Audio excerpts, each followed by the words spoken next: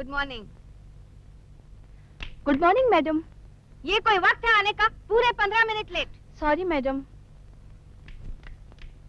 मेरे हॉस्टल में डिसिप्लिन तोड़ा जाए झूठ बोला जाए मैं बर्दाश्त नहीं कर सकती. गुड मॉर्निंग मैडम ये कोई वक्त है? वकील साहब मैं समझी तुम लोग कॉलेज जाओ. ठीक छह बजे हॉस्टल आ जाना. ओके मैडम ये मेरी बेटी अनुपमा नज़र नहीं आ रही. वो बैडमिंटन खेलने गई है. अच्छा। क्या बेटी है आपकी? पढ़ाई लिखाई स्पोर्ट्स वक्त की पाबंदी। काश हर बाप अपनी बेटी को अनुपमा की तरह डिसिप्लिन सिखा सके। शुक्रिया। अन्नू कब तक आ जाएगी? अभी आती होगी। आप वेटिंग रूम में बैठिए मैं आपके लिए चाय भिजवाती हूँ। थैंक यू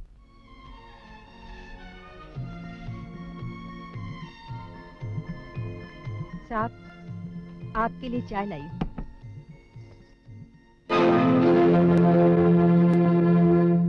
तुम तारा तुम यहाँ कैसे हो?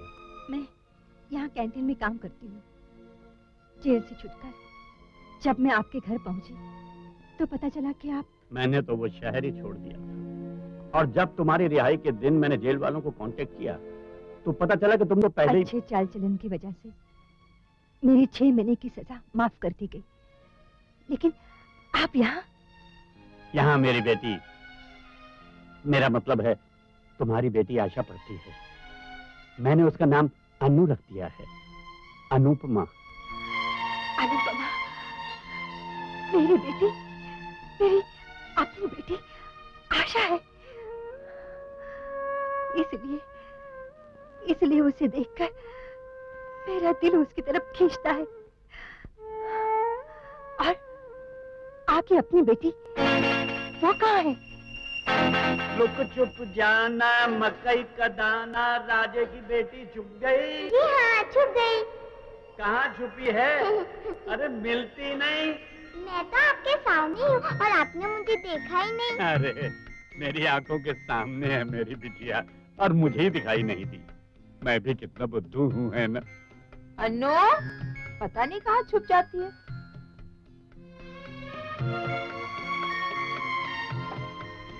ए पकड़ लिया। उठो उठो जल्दी उठो। हम्म डैडी ने बताया होगा। मैंने? अरे मैं तो मुझे कुछ बोला ही नहीं। मेरी आवाज़ सुनी। तो फिर इशारे से बताया होगा। लो पूछ लो इससे। मैंने कोई इशारा किया? बिल्कुल नहीं। आप कसम खाइए। कसम? मुझे पता है आप झूठ बोल रहे हैं। तुझे कैसे पता है मैं झूठ बोल रहा हूँ? जब आप उलझन में होते हैं तब आप बाबा का लॉकेट घुमाने लगते हैं। अरे वाह वकील मैं हूँ और पॉइंट टू पकड़ती है। आखिर में बेटी तो आप ही की हूँ। अच्छा अच्छा कम बोल ये ले। दूध पी और जल्दी से जाकर सो जा हुँ?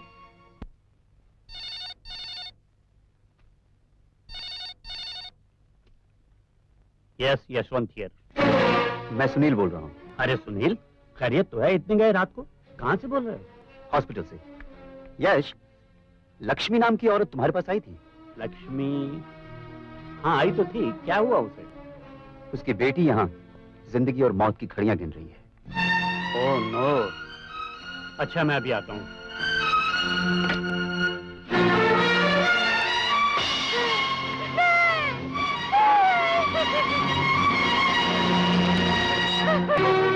श्याम सिंह नाम का जो लड़का सविता को कोठे पे ले गया तो मैंने उसे गिरफ़्तार कर लिया। लड़के ने तीन माले से फांद कर अपनी जान दे दी। आओ मैं तुम्हें उस चश्मदीद गवाह से मिलवाता हूँ जो श्याम सुंदर को फांसी के तख्ते पर पहुँचा सकता है। वकील साहब फांसी पर चढ़वा दीजिए उन लोगों को ताकि आगे कोई तारा तवाफ न बन सके आगे कोई सविता आत्महत्या न कर सके आत्महत्या न कर सके। जो लोग इस मामले में शामिल हैं तुम उनके बारे में जानती हो? जी। किस तरह वो लोग मासूम जिंदगियों को बर्बाद करते हैं? कौन कौन इन खिलौने काम में शामिल है? मैं उन सब के बारे में जानती हूँ। उन सब के बारे में। आओ तारा भाई आओ। सुना तू हमारे खिलाफ गवाही दे रही है? हाँ हाँ ज़रूर दूँगी। तुम्हारे इशारे पर श्याम सुंदर जैसे लोग मासूम लड़कियों को फंसाकर उन्हें कोठों पर पहुंचाते हैं। उनकी इज़्ज़त का सौदा करते हैं। मैं तुम्हारी एक एक पोल खोल दूँगी। देखती हूँ तुम मेरा क्या कर सकते हो? अरे, जो करना चाहिए था, वो तो हम पहले ही कर चुके हैं। तारा भाई, तू तो ज़िंदा रहेगी नहीं। लेकिन तेरी बेटी तेरा धंधा चलाती रहेगी। तेरा नाम रोशन करती रहेगी। पूरे पचास हज़ार का सौदा किया है मैंने तेरी लाउंडिया का। बता मेरी बेटी कहाँ बता मेरी अरे उठा देने वाली नागन का पहले से ही सर कुचल देना चूड़ी लाल की खास आदत है। मरने से पहले तेरी बिटिया को एक बार तुझे ज़रूर दिखाऊँगा। जानी! मम्मी मम्मी मुझे आशा मेरी बेटी। जानी! छोड़ मेरी बेटी। को हमारे खिलाफ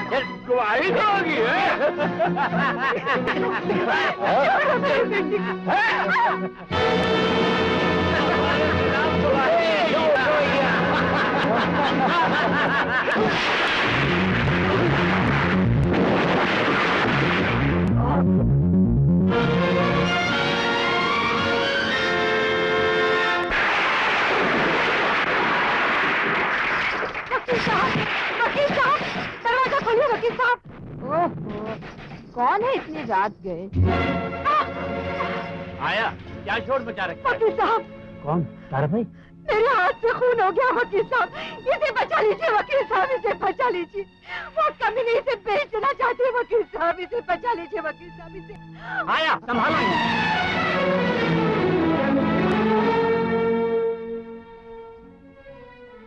मेरी आशा कैसी है वकील साहब? अच्छी है। तुम्हारे लिए पूछ रही थी। मैंने कहा बाहर गई है तो एक दिन में वापस आ जाएगी। कब तक झूठ बोलेंगे? कह दीजिए। उसकी माँ मर गई। ऐसा क्यों कहती हो? मैं तुम्हारा केस लड़ूँगा। खून के जुर्म की सजा से तो आप बचा नहीं सकते वकील साहब। मेरी तकदीर में जो होना था वो हो गया। बेटे की तकदीर को संभाल न सकी। तुम्हारी बेटी मेरे घर रहेगी। मेरी अनुपमा की बहन बनकर।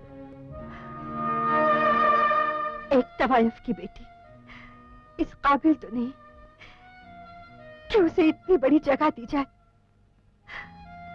आपके घर में इज़्ज़त से एक नौकरानी बनकर पल जाए। यही बहुत है मेरे लिए। एक वचन दीजिए मुझे। अभी वो छोटी है। उसके दिमाग के कोरे कागज़ पर आप जो चाहे लिख सकते हैं। बड़ी होकर उसे ये याद न रहे कि उसकी माँ एक तारफ थी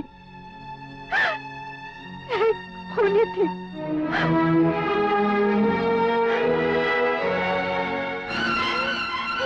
क्या हुआ अनु अरे कौन है तुम? छोड़ो बच्ची को। अरे कहाँ है? अरे छोड़ो कैसे? अन्नू दीदी कहाँ तुम अन्नू दीदी कहाँ तुम अन्नू दीदी कहाँ तुम अन्नू दीदी आया। दीदी आया दीदी आया आया दीदी आया। दीदी आया। दीदी उठो ना आया। दीदी उठो ना आया। आया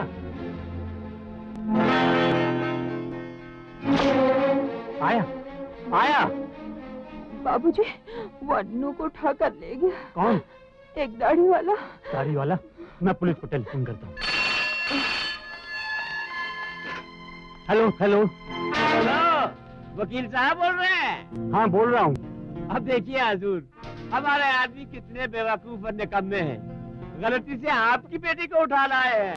कौन हो तुम? आपका गुलाम। नाम क्या है तुम्हारा?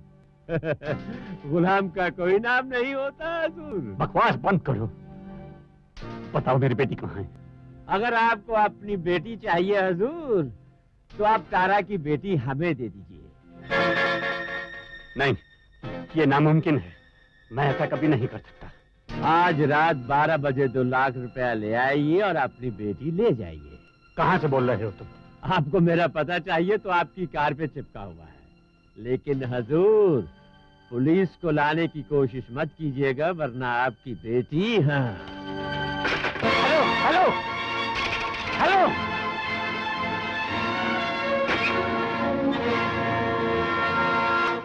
अरे अरे क्या कर रहे हो बाबा? गिर जाओगे। इस कमरे में साइकिल चलाने की क्या ज़रूरत है? तुम बाहर जाके भी। ओहो बेटे। ब्रिज! ब्रिज! भाई साहब आप? नमस्ते भाभी नमस्ते। क्या बात है बहुत परेशान नज़र आ रहे हैं आप? नहीं परेशान तो नहीं। हेलो बेटा ब्रिज कहाँ है? ऊपर है ब्रिज! क्या बात है यशवंत? इतना शोर क्यों मचा रहे हो? मुझे तुमसे एक ज़रूरी काम पड़ गया है। बोलो। मुझे इसी वक्त दो लाख रुपए कैश चाहिए। दो लाख? इसी वक्त? पूछ सकता हूँ क्यों? ज़रूर पूछ सकते हो लेकिन मैं नहीं बता सकूँगा। ये मेरे लिए ज़िंदगी और मौत का सवाल है। ये लो मैं घर के और कार के कागजात लाया हूँ इन्हें गिरवी रख लो। दोस्ती को गाली देते हो। शर्म नहीं आती? यशोदा हाँ? दो लाख रुपए लाकर यशवंत को दे दो। हाँ ज़रूर। थैंक यू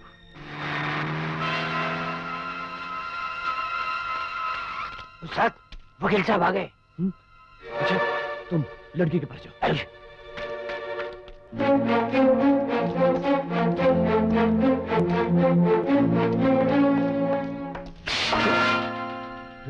मैं तो मज़ाक कर रहा था। आइए वकील साहब स्वागतम स्वागतम। मेरी बेटी कहाँ है? हाँ? आपकी बेटी? हाँ आपकी बेटी आपको ज़रूर मिल जाएगी लेकिन पहले जरा गुलाम को नोटों के दर्शन करवा दीजिए।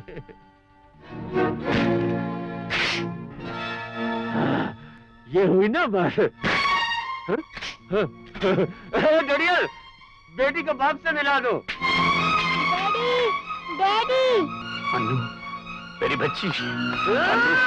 इतनी जल्दी भी क्या है वकील साहब? पहले माल। बेटी मेरी बेटी।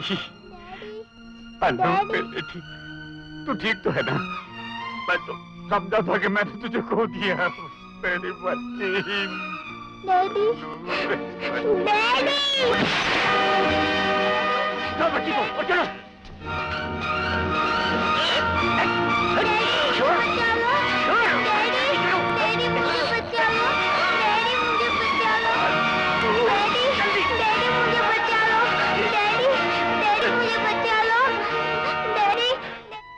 दिन के बाद मुझे अपनी बेटी अन्नू की कोई खबर नहीं मिली। मैंने तुम्हारी बेटी आशा को अपनी बेटी अन्नू का नाम ही नहीं, एक बाप का सारा प्यार भी दे दिया।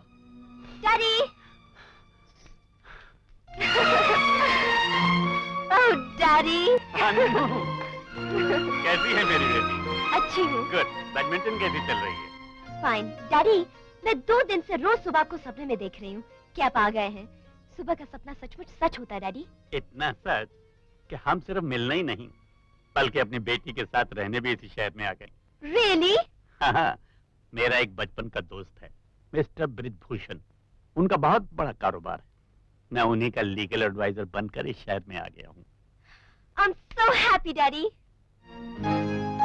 आप? आप यहाँ? मैं साहब को चाय देने आई थी। अच्छा। अनु बेटी ये आपकी बेटी मुझे जानती है साहब। सुबह शाम ये मेरे ही हाथों नाश्ता खाना लेती है। हाँ डैडी जब से ये कैंटीन में आए हैं सिर्फ़ मेरी नहीं और लड़कियों की भी भूख बढ़ गई है। इतने प्यार से खाना खिलाती है कि भूख ना हो फिर भी खाने को दिल चाहता है। लेकिन तारा माँ अब मैं रोज तुम्हारे हाथ का खाना नहीं खा सकूँगी क्योंकि डैडी के साथ घर में रहने जाऊँगी ना। मैं चेंज करके आती हूँ।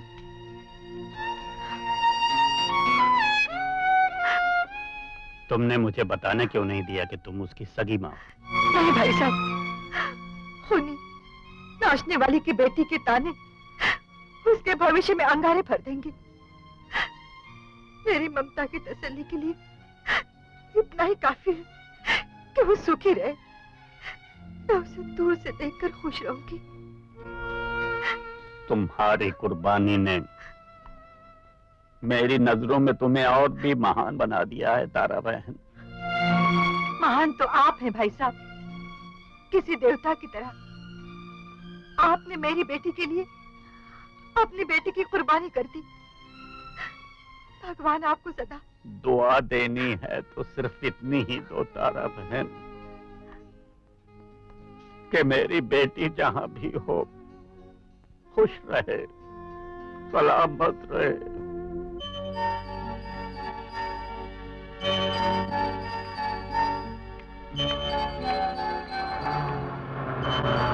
हाय नीलमा। हेलो अन्नू।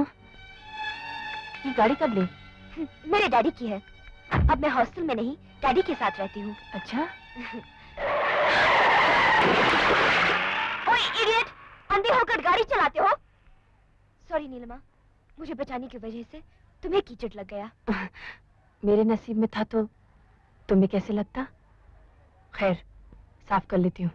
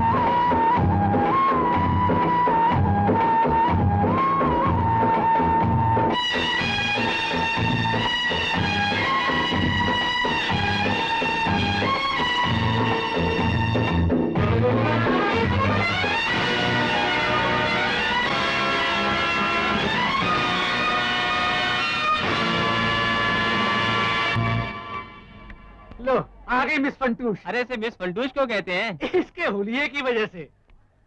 लड़कियों वाली बात ही नज़र नहीं आती। छत्तीस बत्तीस अड़तीस सब गायब है। और ऊपर से आँखों पे चश्मा। अरे किस करने के लिए होठ ढूँढने पड़ते हैं होठ?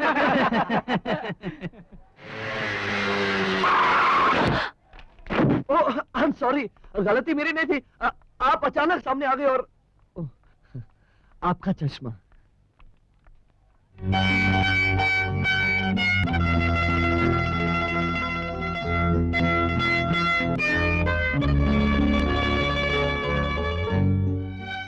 मेरा चश्मा? लीजिए।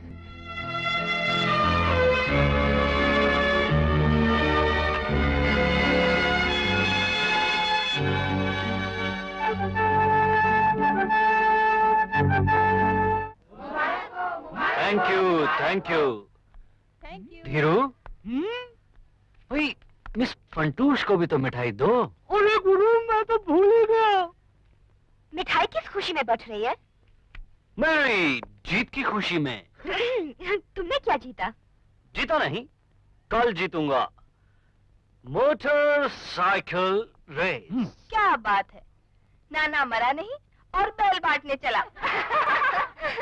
रेस कल है और मिठाई आज बांट रहे हो? इसे कहते हैं कॉन्फिडेंस अपने आप पे यकीन।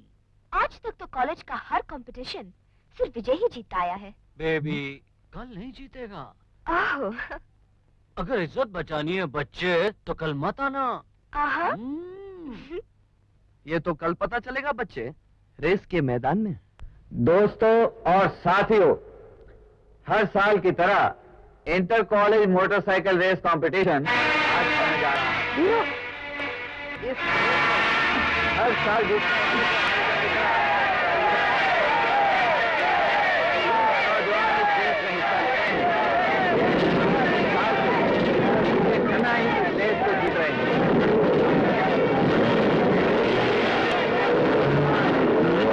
पॉइंट तक आ रहे हैं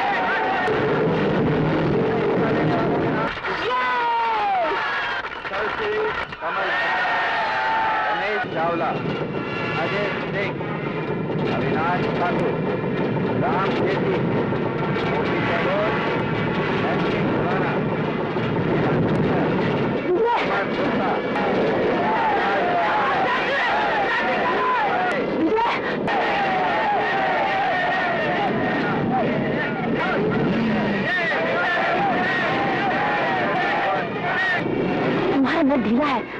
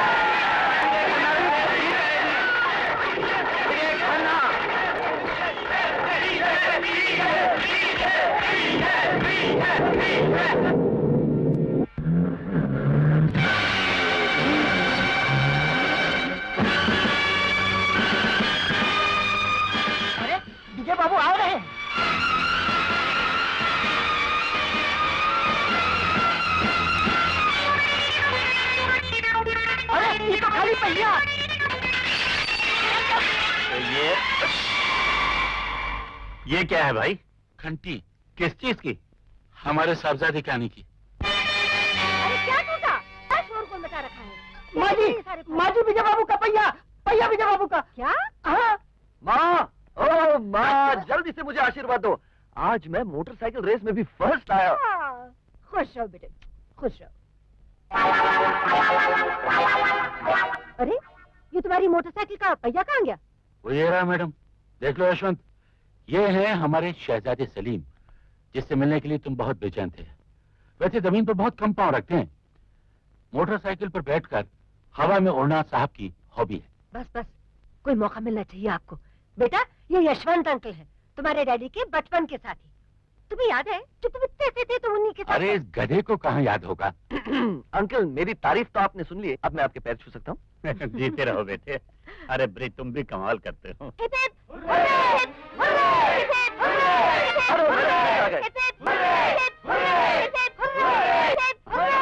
Congratulations.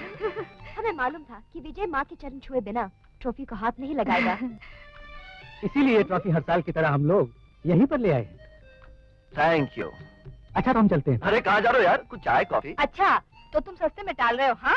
हमें तो हर साल की तरह पार्टी चाहिए पार्टी! पार्टी! क्यों नहीं? बाप कमाल है ना? हम्म? की बात है। अनु अरे दादी यार आ, तुम लोग चलो मैं बाद में आती हूँ हाँ? अब यहाँ दादी? हाँ बेटी। मैंने तुम्हें बताया नहीं था कि मैं अपने एक दोस्त की फैक्ट्री में लीगल एडवाइजर हूँ। यही है वो मिस्टर ब्रिजभूषण मेरी बेटी अनुपमा। यशवंत भैया ये अनुपमा इतनी बड़ी हो गई? हाँ भाभी। अरे देख के रही हो? आंटी के पाँव छुओ जीती रहो बेटी। अरे डैडी विजय क्या मोटरसाइकिल चलाता है? फैंटास्टिक जुई जुई देखिए ना तभी तो इतनी सारी ट्रॉफीज जीती हैं। ये ये तो बाज़ार में बहुत मिलती है। जितनी कहता खरीद देता। इसके लिए इतनी बड़ी रिस्क उठाने की क्या ज़रूरत थी? कैसी बातें करते हो ब्रिज? ट्रॉफी क्या बाज़ार में खरीदी जाती है? अरे you should be proud of him right uncle right what right no no no wrong हाँ। मैं अभी कपड़े बदल के आता हूँ। जल्दी वापस आना सब लोग साथ चाय पियेंगे। आओ यश हम तो चाय शुरू करते हैं। हाँ चलिए भाई साहब। अच्छा आंटी हम्म? विजय की सबसे फेवरेट चीज़ क्या है? उसकी जीत की खुशी में एक प्रेजेंट देना चाहती हूँ। वैसे तो उसे सब अच्छी चीज़ें अच्छी लगती हैं लेकिन एक खास फेवरेट चीज़ है परफ्यूम उसे खुशबू बहुत पसंद है।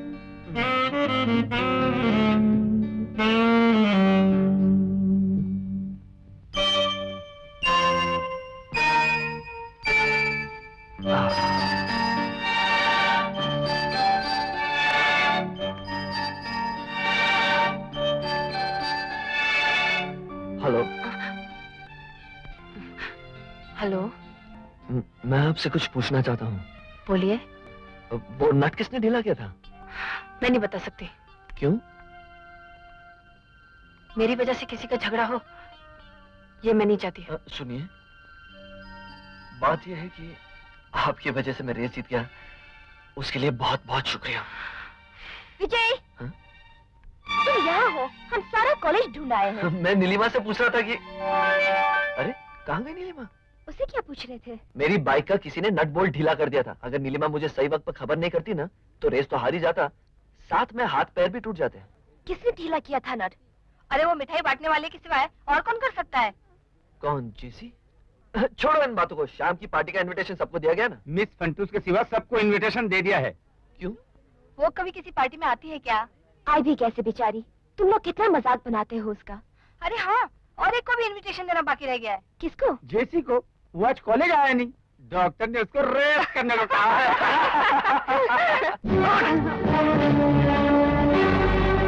विजय, आज पार्टी में कम, टॉयलेट में ज़्यादा जाएगा।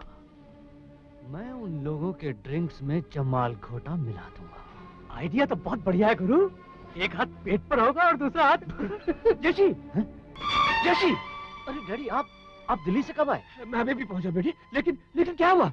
मैंने सुना तुम्हारा एक्सीडेंट हो गया। कुछ नहीं डैडी ज़्यादा चोट तो नहीं बेटे? कुछ नहीं डैडी वो रेस में मोटरसाइकिल टकरा गई और मैं गिर पड़ा। ओहो। कई मर्तबा तुम्हें कहा बेटा अपना ख्याल रखा करो। तुम तो अच्छी तरह से जानते हो बेटे कि तुम्हारी जरा सी भी तकलीफ़ हमसे बर्दाश्त नहीं होती। आप चिंता ना कीजिए डैडी आज के बाद आपके बेटे को नहीं।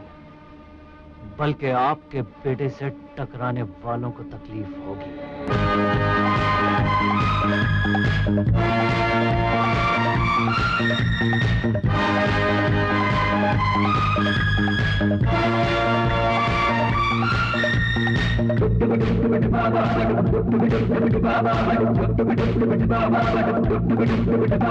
झूमो नाचो गाओ यारो मज़े करो।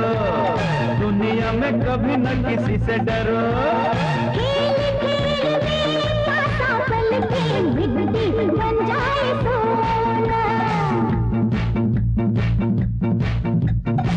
झूमो नाचो गाओ यारो मज़े करो।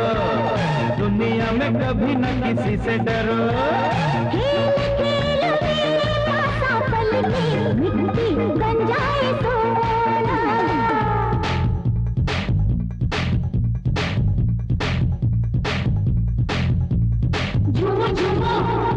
नाचो नाचो।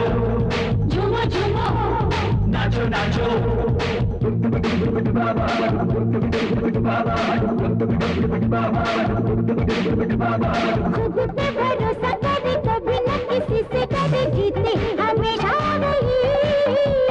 बाजुओं में दम हो तो हौसला न कम हो तो हारे कोई ना कभी।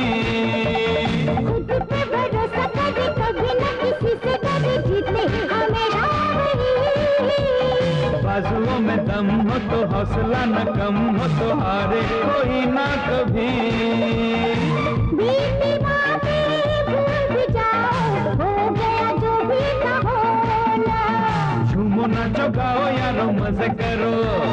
दुनिया में कभी न किसी से डरो। खेल खेल में पासा पल के मिट्टी बन जाए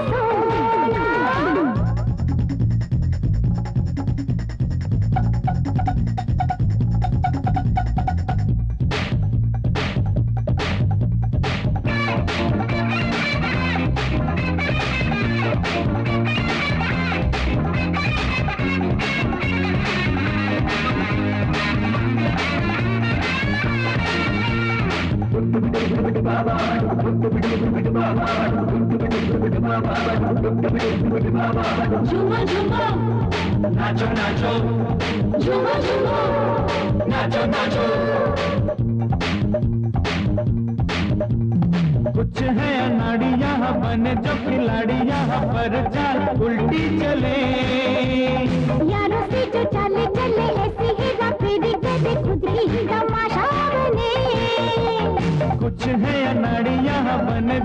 यहाँ पर चाल उल्टी चले।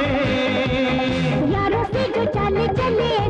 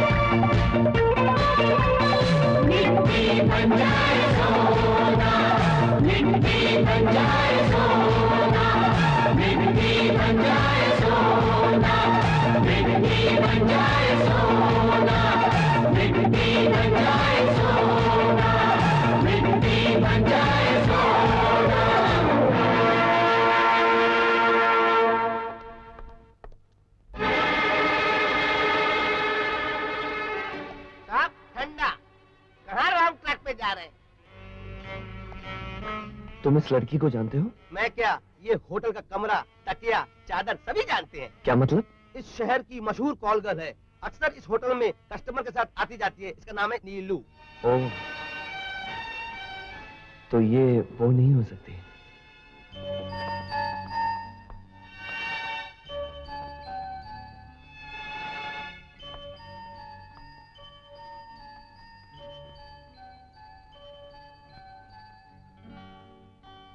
हेलो हेलो जरा एक मिनट बाहर चलोगी? क्यों? मैं कुछ बात करना चाहता हूँ। मुझे पढ़ना है। आप मैं तुम्हें बताना चाहता था कि इस शहर में तुम्हारी कार्बन कॉपी भी है। हाँ सच? बिल्कुल तुम्हारे जैसे। सेम हाइट सेम चेहरा। पहले तो मैं चक्कर खा गया था। फिर एक वेटर ने मुझे बताया कि वो कॉल गर्ल है। आप बोल चुके? अब मैं पढ़ सकती हूँ। अरे कमाला यार। हम तुमसे बात करने का बहाना निकालते हैं और तुम ए mister.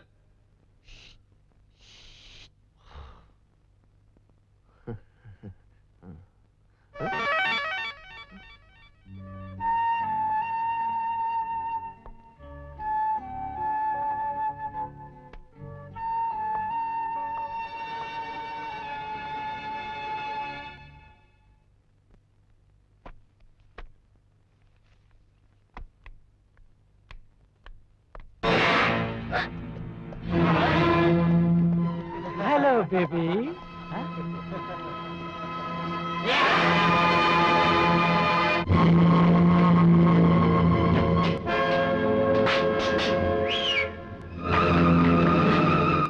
welcome miss Funtoosh welcome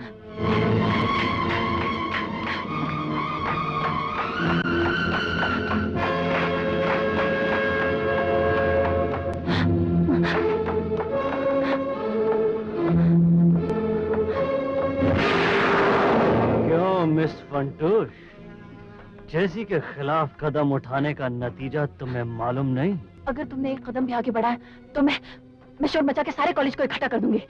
तुम्हारा नाम फंटूश ठीक ही रखा है। क्योंकि तुम भूल रही हो कॉलेज छूटे हुए एक घंटा हो चुका है और सब स्टूडेंट्स जा चुके हैं। अगर कुछ होंगे भी तो जेसी के सामने बोलने की हिम्मत नहीं करेंगे। छोड़ दे बचाओ! मैं कहती हूँ मुझे छोड़ दे कमीने छोड़ दे बचाओ! छोड़ दे मुझे छोड़ दे मुझे छोड़ दे कमीने छोड़ दे। अब तुझे मुझसे कोई नहीं बचा सकता। अब तुझे कौन बचाएगा जैसे? जैसी से टकराने का अंजाम जानते हो?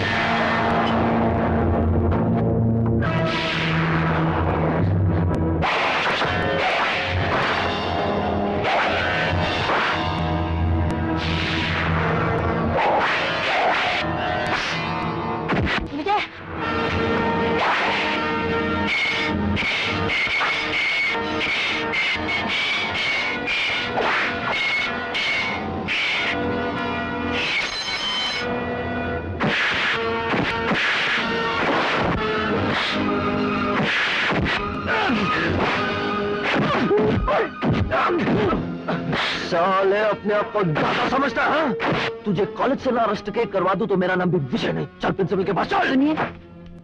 छोड़ दीजिए इसे। प्लीज़ इस बार मैं तुझे छोड़ देता हूँ बच्चे। दोबारा ऐसे हरकत की तो जेल भिजवा दूँगा। Now get out get out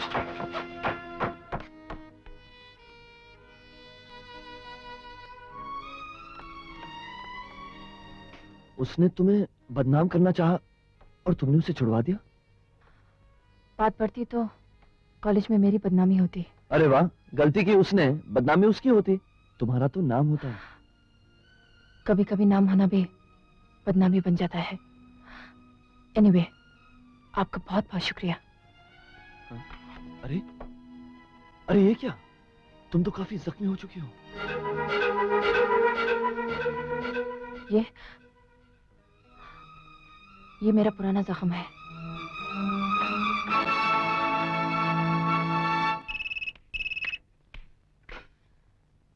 hello kitty speaking जुनायद सेठ बोल रहा हूँ।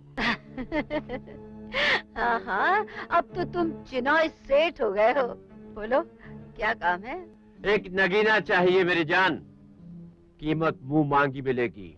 हम्म लेकिन लड़की ऐसी होनी चाहिए कि हमारे दोस्त को दीवाना बना दे। याद है चिनॉय सेठ? बरसों पहले एक कली तुमने मुझे बेची थी।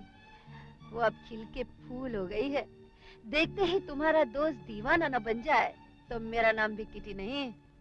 ऐसा क्या? हम्म, तो ठीक है। उस लड़की को फ़ौरन होटल सपना रूम नंबर 303 में भेज दो। ओके? ओके। हाँ तो इंस्पेक्टर। डागा से तुम पहले ही मिल चुके हो। यह है हमारा नया साथी गुरबचन। हेलो हेलो पचास लाख की चरस और गांजा लेकर डागा ट्रांसपोर्ट के ट्रक में ये गुरबचन ठीक ग्यारह बजे तुम्हारी चेक पोस्ट से निकलेगा। चिनाय सेठ फ़िक्र मत कीजिए। हमेशा की तरह आपका माल इस बार भी बिना चेकिंग के पास करवा दिया जाएगा। हाँ ये हुई ना बात। डागा ये रहे पच्चीस हज़ार एडवांस में। बाकी पच्चीस हज़ार काम हो जाने के बाद। हाँ हाँ ठीक है। डागा हम्म। तुम गुरबचन को अपने साथ ले जाओ और सारा सामान पैक करवा दो हम्म? ओके। मैं जरा उस लड़की को देखना चाहता हूँ जो हमारे दोस्त को दीवाना बना देगी हाँ? नीली कहाँ जा रही हो इस वक्त? कॉलेज जा रही हूँ। आज तुम कॉलेज नहीं जाओगी। आज के दिन के लिए तुम्हारी पूरे दस हज़ार की कीमत है। लेकिन आंटी मेरे एग्ज़ाम नज़दीक है। मेरा कॉलेज जाना बहुत ज़रूरी है। कॉलेज में तुझे सिर्फ़ तेरे शौक के लिए भेजती हूँ। कस्टमर के पास जाना तेरा धंधा है और धंधा छोड़कर शौक नहीं पूरा किया जाता। मैंने धंधे से तो कभी इनकार नहीं किया आंटी। लेकिन अगर मैं फेल हो गई तो? फेल होकर तेरा भाव घट नहीं जाएगा। कीमत तो तेरी उतनी ही रहेगी बच्चे। जा जाकर तैयार हो जा। मैं नहीं जाऊँगी। तुम पैसे वापस कर दो। दौलत लौटाना मेरी आदत नहीं। ये तू अच्छी तरह जानती है। वो सब मैं नहीं जानती लेकिन आज नहीं जाऊँगी। हम्म, नहीं जाएगी। नहीं जाऊँगी नहीं जाऊँगी नहीं जाऊँगी। शिंगो!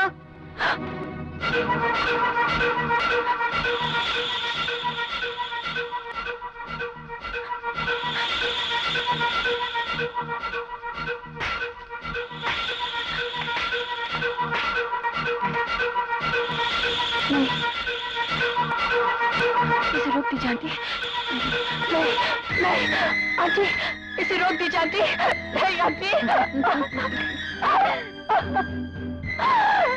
आप जो कुछ भी कहेंगे मैं करने के लिए तैयार हूँ। इसे रोक दी जाए इसे रोक दीजिए मैं जाऊँगी। मैं नहीं जाऊँगी। है ये नहीं। भगवान के लिए मुझे यहाँ। मैं अपने हॉस्टल में गंदगी बर्दाश्त नहीं करती। और तू तो गंदगी का ढेर है। चल क्या हुआ? बेटी बेटी इनसे कहो ना मुझे यहाँ से मत निकाले यहाँ सब शरीफ और इज्जतदार घर की बेटियाँ रहती हैं। तुझ जैसी कोठे पर नाचने वाली। खूनी सदा याफ्ता औरत के लिए यहाँ कोई जगह नहीं है। नाचने वाली? खूनी सजा याफ्ता तुम? हाँ मैं नाचने वाली थी। मेरे हाथों खून हुआ और मैंने उसकी सजा भी भुगत ली है। लेकिन बेटी खबरदार जो मुझे बेटी कहा मैंने तुम्हें माँ जैसा मान दिया। तुम्हारे हाथ के खाने में ममता का मज़ा महसूस किया और तुम तुम जैसी गंदी आवारा वेशा को तो गोली मार देनी चाहिए।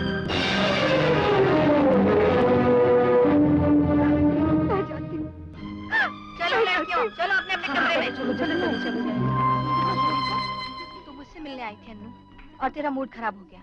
चल थोड़ी देर मेरे कमरे में बैठ ले तेरा मूड ठीक हो जाएगा। नहीं मानती। आज मेरा दिल बहुत दुखा है। इस दुनिया में ऐसे लोग भी होते हैं जो दिखते कुछ और हैं और होते कुछ और। टैक्सी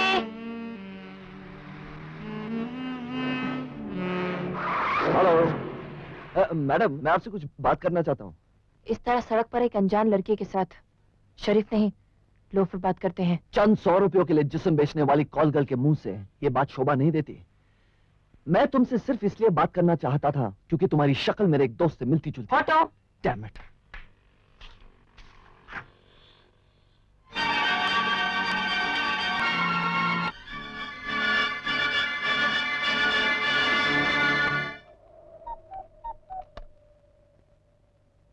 मैं क्या, ये होटल का कमरा, तकिया, चादर सभी जानते हैं। इस शहर की मशहूर कॉल गर्ल है। अक्सर इस होटल में कस्टमर के साथ आती जाती है। इसका नाम है नीलू।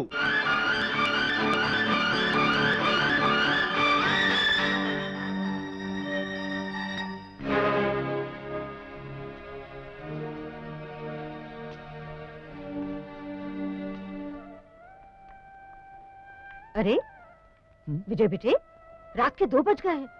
तुम अभी तक सोए नहीं? माँ कल एग्ज़ाम का आखिरी दिन है और मैं एक बहुत ही अजीब सवाल में उलझ गया हूँ। कैसा सवाल? अच्छा माँ अगर ऐसी कोई बात है जो तुम मुझसे छुपाना चाहती हो और अगर मुझे उस बात का पता चले तो फिर मुझे क्या करना चाहिए? तुम्हारे सामने उस बात को कह देना चाहिए या चुप रहना चाहिए? अगर मैं कोई बात छुपा रही हूँ तो उसकी ज़रूर कोई ना कोई वजह है। अगर तुम्हारे बोलने से मैं शर्मिंदा हूँ मेरा दिल दुखे या मुझे किसी तरह का नुकसान पहुँचे तो ऐसे में चुप रहना ही बेहतर है। ओह माँ तुमने मेरी सारी प्रॉब्लम सुलझा दी। अब मैं एग्ज़ाम में ज़रूर पास हो जाऊँगा ज़रूर। एग्जामिनेशन खत्म हो गए? पता नहीं कहाँ घूमता फिरता है। हाँ। तुम्ही बिगाड़ा उसे तुम्ही ने रात को देर से घर आता है सुबह देर से उठता है। Good morning dad good morning mom good morning बेटे। जल्दी से नाश्ता करो मेरे साथ चलना है। कहा? फैक्ट्री और कहाँ? यशवंत आता होगा। फैक्ट्री लेकिन डैडी वो में good morning hello aunty. Hello uncle अच्छा हुआ तुम वक्त पे आ गई। वक्त पे आ गए अरे मैं तुम्हारा कब से इंतज़ार कर रहा हूँ? अरे अनु को वहाँ कहाँ रोक लिया? यहाँ लाओ दोनों नाश्ता करो। नहीं नहीं नहीं नहीं हम लोग नाश्ता वहीं करेंगे। चलो चलो। कहाँ? अरे वहाँ। लेकिन तुम जा कह रहे हो? अब वो क्या है ना? हमारे दोस्त के भाई के बहन के साली की नहीं नहीं नहीं साली की शादी हो रही है आज इसलिए अनुपमा इतनी जल्दी आई है। क्यों अनु? हाँ आंटी पहुँचना तो बहुत जल्दी था लेकिन देर हो गई। क्यों? हाँ हाँ बिल्कुल ठीक। अच्छा मम्मी मैं जाऊँ? हाँ हाँ जाओ बेटे। लेकिन फैक्ट्री? फैक्ट्री कहाँ भागी जा रही है? Thank you, mummy. Thank you. Bye. Bye, bye bye बेटे तुमने तो कह दिया फैक्ट्री कहाँ भागी जा रही पका दिया ना उसे फैक्ट्री फैक्ट्री रटे जा रहे हो ये नहीं देखा रहे कि कितनी अच्छी जोड़ी बन रही है हाँ?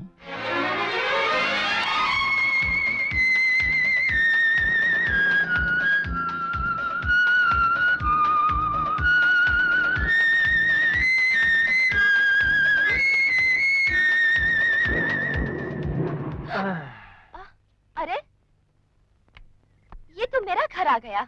और कहाँ जाना था तुम्हें? जहाँ तुम्हें जाना था। मैं तो एक ज़रूरी काम से जा रहा हूँ।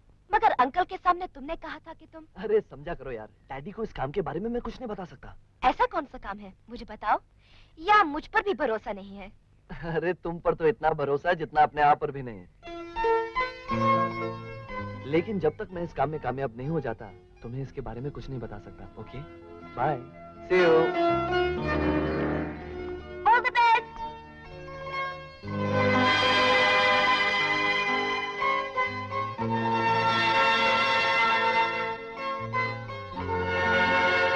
Tara बहन। भाई साहब मैं मैं जानता हूँ। बेटी की मोहब्बत में चोरों की तरह छुप कर देखने पर मजबूर कर दिया मैं फिर कहता हूँ तुम आशा को मिल क्यों नहीं लेती? चलो। नहीं नहीं भाई साहब। आशा को पता चल चुका है कि मैं कौन हूँ क्या हूँ। वो मुझसे नफरत करती है। अब तो उसके सामने जाना भी ठीक नहीं है। भाई साहब ये ये लड़का कौन था? ये हमारे दोस्त का बेटा है। हमने आशा से इसकी शादी तक की। कैसा लगा तुम्हें? लाखों में एक है। भगवान इन दोनों की जोड़ी सलामत रखे। आप बिल दीजिए और घर जाइए। क्या रात भर यहीं सोना है? ये लो छुट्टे रख लो। अरे दोस्त तुम तुम्हें याद है वो दिन वो पार्टी में वो लड़की आई थी वो वो वो वो कॉल कर हाँ नीलू वो आज यहाँ आई नहीं? लगता है सब आज कोई गिराक नहीं फंसा। मगर आप तो शरीफ आदमी लगते हैं। आप किस चक्कर में फंसे? हम्म, ये लो। और भी मिलेंगे? अगर वो लड़की फिर से आए तो मुझे इस टेलीफोन नंबर पर फ़ोन करना। साहब उसके आते ही मैं ज़रूर फ़ोन करूँगा आपको। अरे क्या हो गया तुझे? तू टहल क्यों रहा है? फ़ोन का इंतज़ार कर रहा हूँ। तो इंतज़ार बैठ के भी किया जा सकता है। ओ। पगला कहीं का।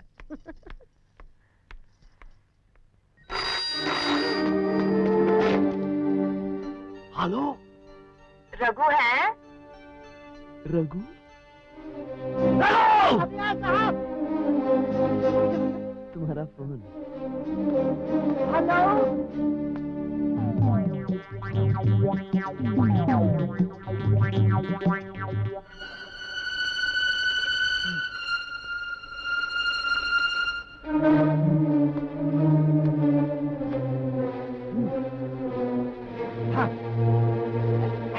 अबे ओ रघु पंद्रह मिनट तक फ़ोन पकड़े रखा और एक बात भी नहीं की तूने। ये हमारी घरवाली का फ़ोन रहा।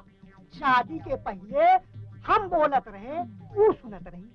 अब वो बोलत है हमें सुने के पड़त है। विजय भैया अब आपको कैसे ने दिन आने वाला? है? तो हेलो?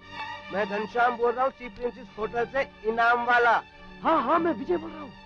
आपको जिसका इंतज़ार था ना वो आ गई है। आ गई है? अ, अ, अ, मैं आ रहा हूँ।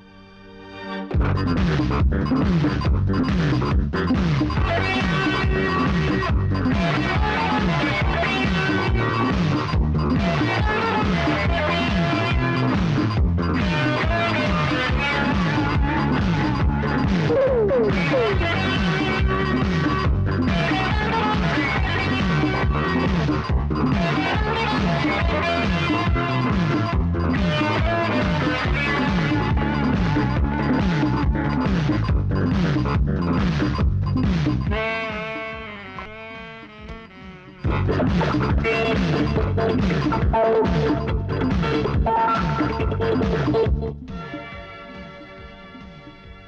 बात है? मेरी शहजादी।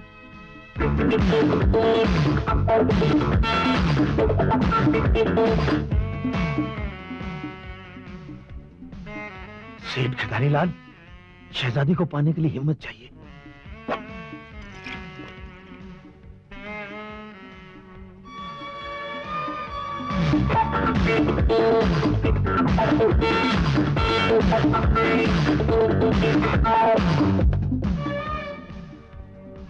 कमाल हमारी शहजादी मुस्कुराती नहीं। थोड़ा सा थोड़ा सा। किस खुशी में? इस खुशी में कि तुम खूबसूरत हो जवान हो और हम तुम्हारे आशिक, खरीदार आशिक। पूरी एक रात के आशिक, आज की रात के आशिक। नहीं नहीं नहीं नहीं, एक रात नहीं। तुम तो ज़िंदगी भर हर रात अपने साथ रखने वाली चीज़ हो।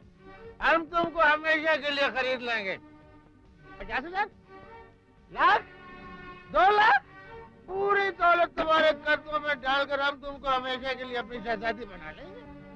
नहीं नहीं नहीं, नहीं शहजादी नहीं अपनी महारानी हाँ? अपनी महारानी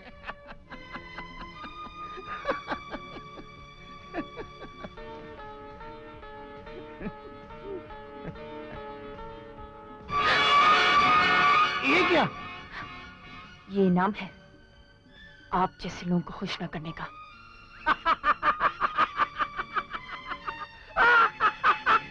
Thank you.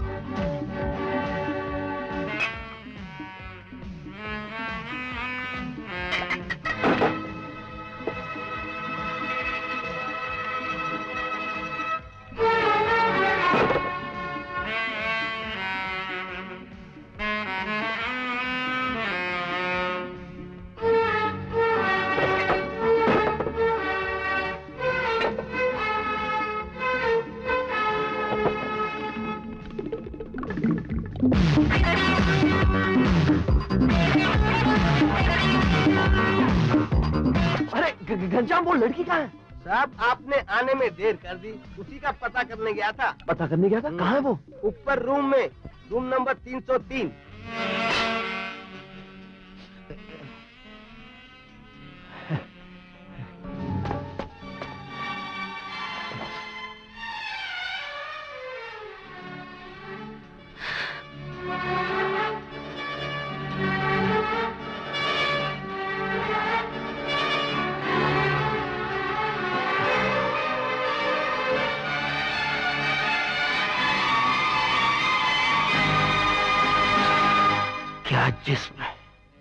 आपके हाथों बिके हम, उसकी कुदरत देखिए।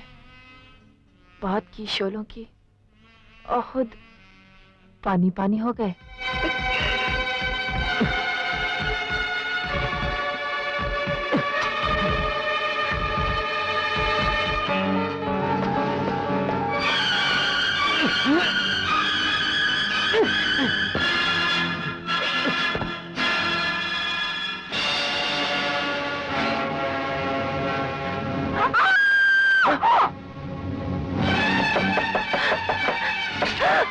हुआ? हाँ? क्या बात है? वो क्या हुआ? वो वो मर गया। मर वो, वो मर गया। ओह माय गॉड खून खून पुलिस! हवलदार इसका पंचनामा तैयार करो लाश को पोस्टमार्टम के लिए भेज दो। मिस्टर मैनेजर यस सर इस केस की पूरी तहकीकात होने तक ये कमरा सील रहेगा। ओके सर तुम दोनों मेरे साथ चलो। लेकिन क्यों? ये तो सिंपल हार्ट अटैक का केस है। जब तक पुलिस को ठीक से कंफर्म नहीं हो जाता ये किस अटैक का केस है तुम दोनों पुलिस की हिरासत में रहोगे। पहले मैं अपने अंकल को फ़ोन करना चाहता पहले तुम दोनों पुलिस स्टेशन चलोगे। चलो। चलो।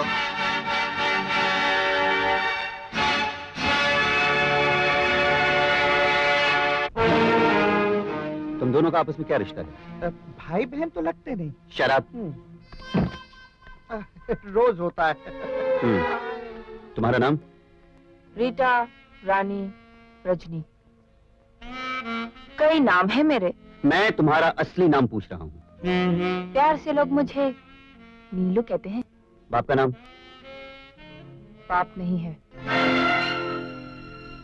करती क्या हो? धंधा करती हूँ। मज़ाक बंद करो लड़की। अपना जिस्म बेचती हूँ। इसे आप मज़ाक समझते हैं? ऐसी बातें करते तुम्हें शर्म नहीं आती? पुलिस स्टेशन में खड़ी हूँ। सच बोल रही हूँ। इसमें शर्म कैसी? मरने वाले से तुम्हारा रिश्ता? वो मेरा खरीदार था। जहर पिलाया होगा तुमने उसे। शराब पिलाई थी। शराब में कुछ मिलाकर पिलाया होगा। नफरत मिलाई थी। उस आदमी के बैग में चार लाख रुपए थे। तुम उसे लूटना चाहती अगर लूटना होता तो कब की लूट चुकी होती। ना मैं चिल्लाती ना ये आते। और ना ये पैसा पुलिस को मिलता। मेरे ख्याल से ठीक कह रही है इंस्पेक्टर साहब। अपना ख्याल अपने पास रखिए साहिबजादे। हुक्म सिंह। हुक्म। इनका बयान लेकर इन्हें लॉकर में बंद कर दो। ये ज्यादती है इंस्पेक्टर साहब। मैं अपने अंकल को फ़ोन करना चाहता हूँ। बरखुरदार अपने अंकल को बाद में फ़ोन करना। पहले मेरे साथ चल के बयान लिखवा लो। फॉलो मी रोज होता है। जी हाँ। पोस्टमार्टम की रिपोर्ट मुझे कल सुबह तक मिल जानी चाहिए।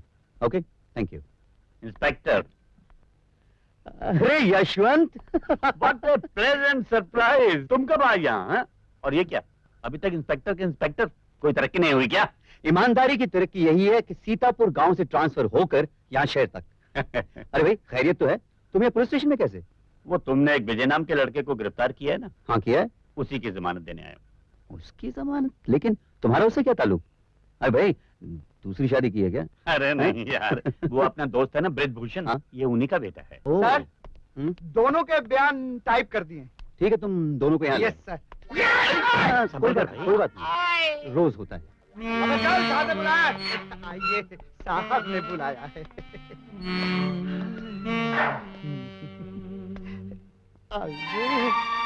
अबे चल। ये चल। तुमने पहले क्यों नहीं बताया तुम ब्रिज साहब के बेटे हो? आपने फ़ोन तक तो करने नहीं दिया। और कैसे बता था कि एनीवे तुम दोनों अपने अपने बयान पर साइन कर दो यहाँ। और सर मैं साइन करवा लेता हूँ। इधर आइए आप। लेकिन यशवंत इसे कोर्ट में तो आना ही होगा। जानता हूँ। मुझे तुम जा सकते हो। तो क्या आप इसे नहीं छोड़ेंगे? नहीं। क्यों? क्योंकि मैं किसी इज्जतदार बड़े बाप की बेटी नहीं हूँ। नहीं विजय। मैं इसे नहीं छोड़ सकता। जब तक पोस्टमार्टम की रिपोर्ट नहीं आ जाती। I am sorry young man मेरी वजह से तुम्हें बहुत तकलीफ़ उठानी पड़ी। सुनो। जी? तुम ऐसा काम ही क्यों करती हो जिसकी वजह से किसी को तकलीफ़ हो? वो बुढ़ा कब्र में पैर लटकाकर मेरे साथ कमरे में आएगा। ये तो मुझे मालूम नहीं था। मेरा मतलब उस गलत काम से है जो तुम्हें उस कमरे तक ले गया। गलत काम? गलत काम खुशी से नहीं। मजबूरी से किया जाता है। अगर आप जैसा शरीफ बाप मेरा होता तो क्या मैं ये काम करती? चलिए आज से मैं ये काम नहीं करती। आप मुझे अपनी बेटी बना लीजिए।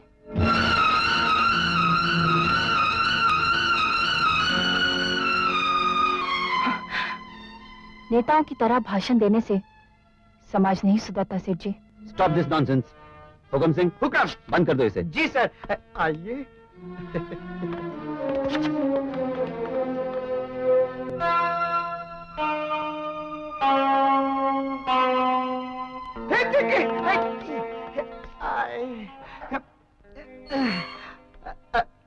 सुनिए आपको साहब ने बुलाया है।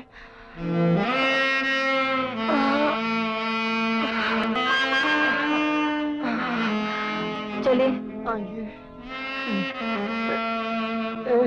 ये रोज नहीं होता really?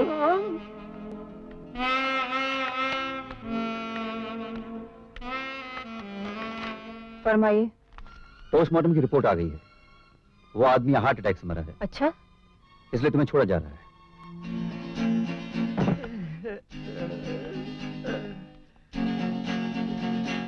थैंक यू सुनो। जी। मेरा तजुर्बा कहता है कि तुम्हें एक अच्छी लड़की हो। और जो काम तुम करती हो उसमें खुश नहीं हो। अगर आपका तजुर्बा कल ये कह देता तो शायद रात मुझे लॉकअप में ना बितानी पड़ती। एक अच्छे से लड़के से शादी करके घर क्यों नहीं बसा लेती? आपकी नज़र में कोई लड़का है जो मुझ जैसी लड़की के साथ घर बसा सके? आप करेंगे मुझसे शादी? कहने और करने में बहुत फ़र्क है इंस्पेक्टर साहब। अच्छा चांस मिस कर दिया। शराब।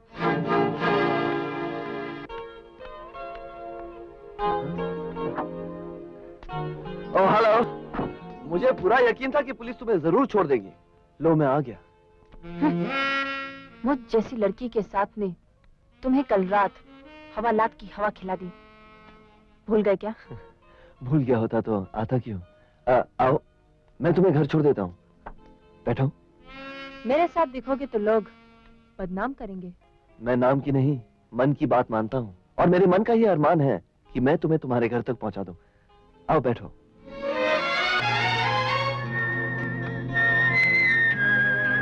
शायद तुम रात भर सोए नहीं। मैं भी रात भर जागता रहा। तुम्हारे बारे में सोच रहा था। इसके बाद तुम ये कहोगे कि तुम मुझे इस गंदगी से निकालना चाहते हो। तुम्हें मुझसे प्यार हो गया है। आज तक कोई मर्द ऐसा नहीं मिला जिसने मुझसे ये ना कहा हो कि मुझे तुमसे प्यार हो गया है। हाँ वो बात दूसरी है कि कमरे से निकल जाने के बाद सबके प्यार का भूत भाग जाता है। ये बात मैं कमरे में नहीं अपनी गाड़ी में कह रहा हूँ। बात तो कमरे में ले जाने की है। एनीवे गाड़ी रोको मेरा घर आ गया। फिर कब मिलोगे? कभी नहीं। क्यों? मुझसे ना मिलना ही अच्छा है। तुमसे मिलना ही मुझे अच्छा लगता है। घर तक पहुँचाने का बहुत बहुत शुक्रिया। आ, सुनो मेरी बात का जवाब तो देती जाओ। देखो तुम इज्जतदार खानदान के लड़के हो। किसी शरीफ लड़की से शादी करके अपना घर बसा लो। तुम करोगी शादी? मज़ाक अच्छा है। ये दिल की आवाज़ है। दिल नादान होता है। दीवाना भी होता है। ये दीवान की नहीं बेवकूफ़ी है।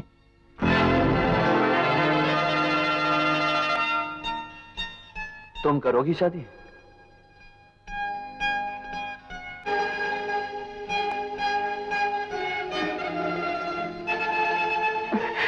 नीले आज मैं बहुत खुश हूँ। अपने धंधे में लड़की जितनी पुरानी होती जाती है उसकी कीमत उतनी घटती जाती है। लेकिन तेरी कीमत पुरानी शराब की तरह बढ़ती ही जा रही है। जानती है किसी ने साठ हज़ार रूपए दिए हैं तेरे साथ तीन दिन बिताने के लिए। एक बात बताओ आंटी। अगर तुम्हारी खुद की बेटी होती तो क्या तुम उसे इतनी खुशी से बेचती? बेचती? अरे वो मेरी बात सुनती और तुझसे दस गुना ज़्यादा कमाती। चल टाइम वेस्ट मत कर तुझे वहाँ पहुँचना है।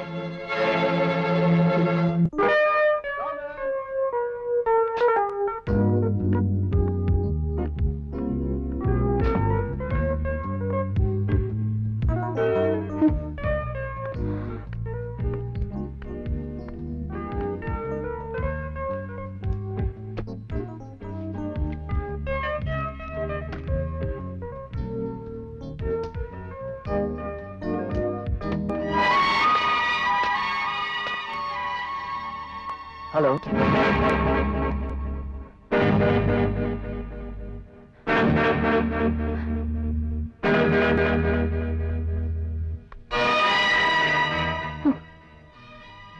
आप हैं मेरे तीन दिन के खरीदार।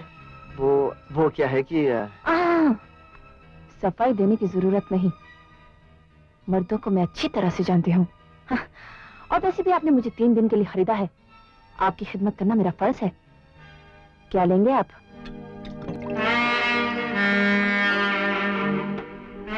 विस्की पानी के साथ या सोडे के साथ? देखो नीलिमा मैं ओह आई एम सॉरी मैं भूल गई थी। पहले उस जिस्म को दिखाना चाहिए जिसे आपने खरीदा है।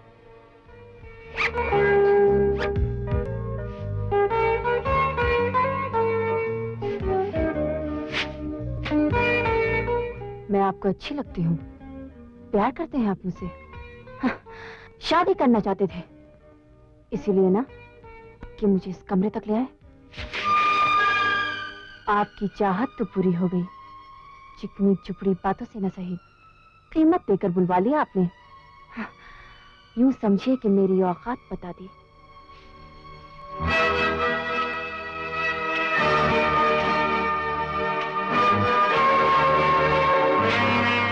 अब देख क्या रहे हैं। आइए, मेरा जिस्म आपकी भूख मिटाने को तैयार है। अरे, आप तो शर्मा रहे हैं। शायद उजाले में आपको शर्म आ रही है। मैं लाइट ऑफ़ किए देती हूँ। आइए ना। बढ़िए।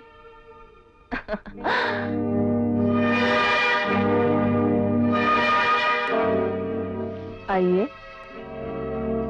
आगे बढ़िए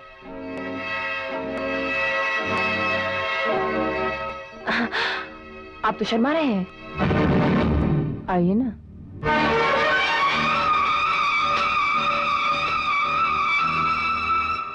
बस करो ढक लो अपने इस जिस्म को। ये तुम नहीं, वो लड़की बोल रही है जिसने सिर्फ़ बिकना सीखा। मैंने खरीदार बन के तुम्हें यहाँ इसलिए बुलाया ताकि मैं अपनी दिल की बात तुमसे कह सकूँ कि मैं तुमसे प्यार करता हूँ, नीलिमा। तुम्हारे अंदर छुपे हुए प्यार को जगाकर अपना जीवन साथी बनाना चाहता हूँ। लेकिन तुम तुम तो प्यार के नाम से डरती हो। और शायद इसलिए क्योंकि अब तक तुमने मर्द की आँखों में सिर्फ़ वासना देखी है। मेरी आँखों में देखो, नीलिमा, देखो। देख सकती हो तो मेरा प्यार देखो। और अगर तुम्हें यह प्यार न दिखाई दे तो चली जाओ यहाँ से। मैं तुम्हारी यादों की मिट्टी से तुम्हारी मूर्ति बनाकर ज़िंदगी भर उसकी पूजा करता रहूँगा।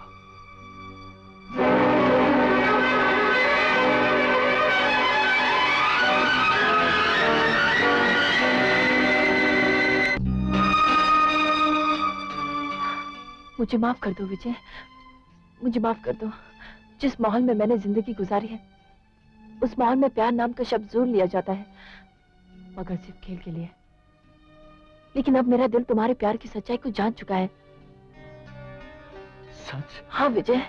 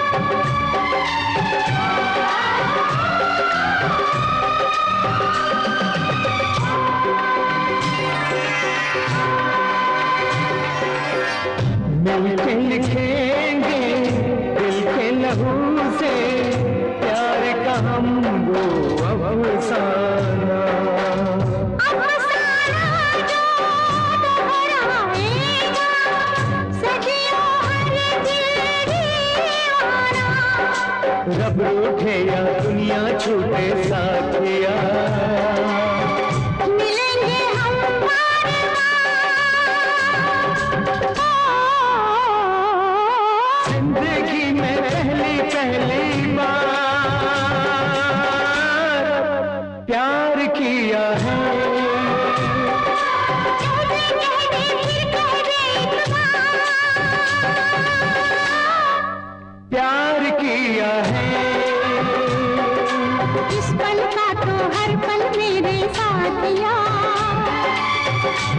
दिल को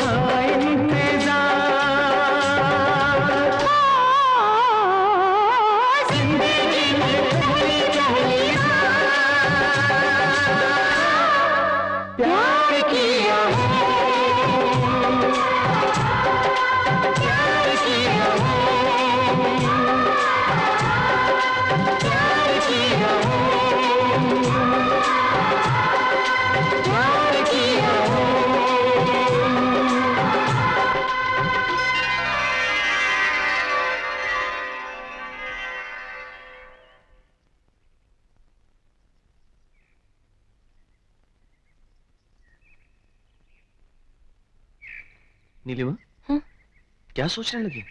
सोच रही हूँ। प्यार के जो सपने हम दोनों ने देखे हैं उन्हें तुम्हारे घर वाले कहीं तोड़ तो नहीं देंगे। अरे पगली तू मेरे घर वालों को नहीं जानती। मेरे डैडी थोड़े सख्त ज़रूर है लेकिन मम्मी हमेशा वही करती जो मैं चाहता हूँ। मैं आज ही घर जाकर मम्मी को लाऊँगा। एक बार तुमसे मिल लेना तो डैडी को तो यूँ ही मना लेगी। माँ जी ये असली चांदी है। अरे इसे हाथ मत लगाओ। जाके बाकी बक्से ले आओ। माँ जल्दी से आशीर्वाद दे मुझे। बेटा तू कब आया? कैसा रहा सफ़र? बहुत अच्छा बहुत अच्छा फैंटास्टिक लेकिन ये सब क्या है माँ? ये सब तेरी शादी के लिए है। शादी? किससे? उसी से जिसे तू पसंद करता है। लेकिन तुम्हें कैसे पता चला कि मैं किसे पसंद करता हूँ? तू क्या समझता है कि हम आँखें बंद करके चलते हैं? सच? तुम्हें मालूम है माँ? और मैं ये भी जानती हूँ कि अनुपमा तुम्हें कितना प्यार करती है। अनुपमा? ये तुम क्या कह रही हो माँ? अनुपमा सिर्फ़ मेरी दोस्त है। उसके बारे में मैंने कभी ऐसे सोचा ही नहीं। तुमने चाहे जो कुछ भी सोचा हो साहबजादे लेकिन हमने तो फैसला कर लिया है कि ये शादी जल्द से जल्द कर दी जाए। लेकिन मुझे ये शादी मंजूर नहीं माँ। तुम नामंजूर करने वाले कौन होते? हो लेकिन ये मेरी ज़िंदगी का सवाल है डैडी। कम से कम मुझे पूछ तो लिया था आपको इस तरह फैसला करने का कोई हक नहीं डैडी। शराब तुम्हारी शादी के लिए मुझे तुमसे पूछने की कोई ज़रूरत नहीं है। यहाँ पर वही होगा जो मैं चाहूँगा क्योंकि ये घर मेरा है। अच्छा किया आपने बता दिया कि ये घर सिर्फ़ आपका है। विजय ठहर विजय जा रहे हैं बेटे? माँ दौलत के बोझ से कहीं मेरा दम घुट ना जाए इसलिए खुली हवा में जा रहा हूँ। विजय विजय रुक! तुम्हारी इस धमकी का असर तुम्हारी माँ पर होगा? मुझ पर नहीं समझे? जी हाँ क्योंकि आप हर चीज़ दौलत के तराजू में तोलते हैं अपने बेटे को भी। विजय रोकी है चला जाएगा। विजय जाने दो इसे। जब सर के ऊपर से छत और पैर के नीचे से नरम कारपेट हट जाएगा तब पता चलेगा इसे कि बाहर की दुनिया बाप का घर नहीं विजय विजय विजय ठहर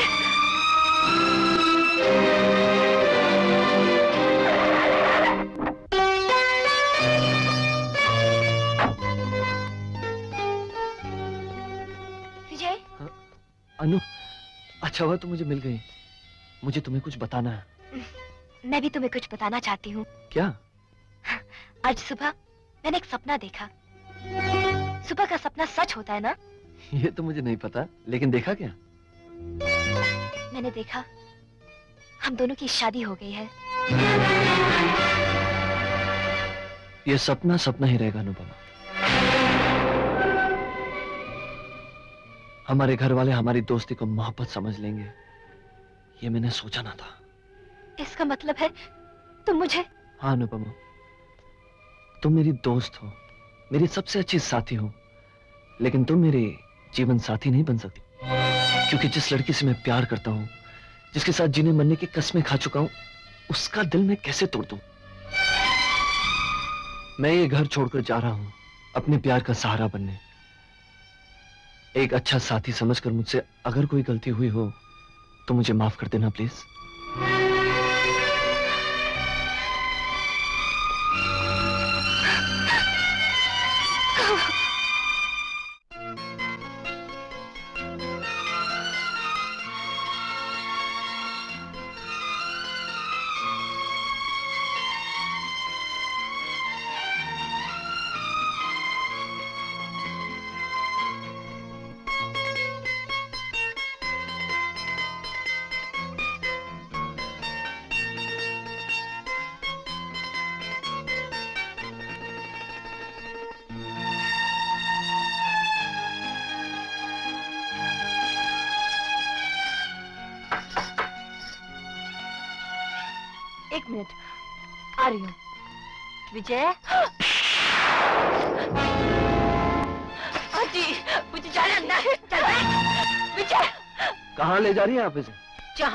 आई थी।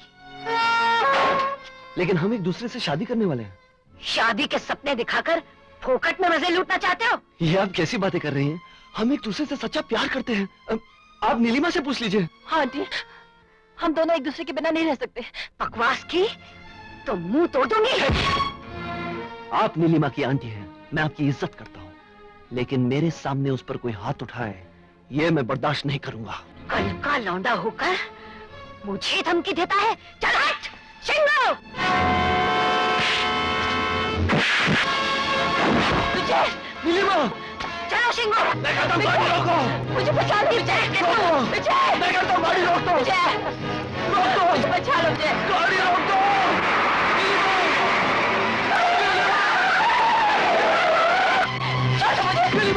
मुझे।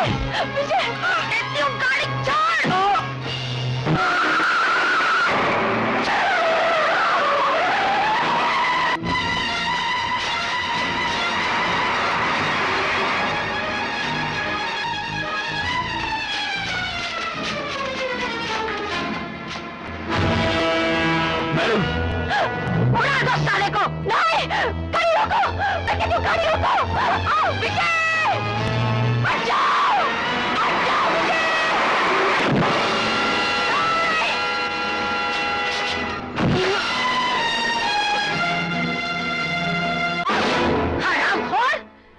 करने गई थी। शादी करेगी। हाँ हाँ करूँगी। विजय से शादी करूँगी वरना मर जाऊँगी। अरे मर तो अब तक वो तेरा आशिक गया होगा। शादी क्या उसकी लाश के साथ करेगी? प्यार करने वाले कभी नहीं मरते। मुझे यकीन है कि वो ज़िंदा है। और यहाँ से छुड़ा कर ले भी जाएगा। अगर तेरे दिल की ये झूठी बात सच निकली और वो यहाँ आ भी गया तो याद रखना कसम अपने धंधे की मैं तुझे और तेरे प्यार को मिट्टी में मिला दूँगी। प्यार की ताकत मिट्टी को सोना बना देती है जिससे दुनिया की कोई ताकत मिटा नहीं सकती। इसे अपने प्यार पर बहुत घमंड है इसके प्यार का भूत उतार।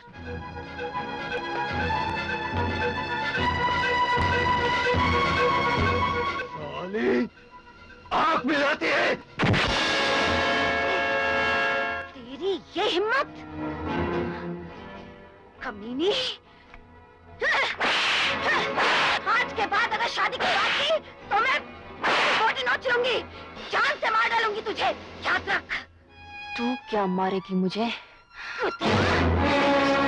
मारा जिसको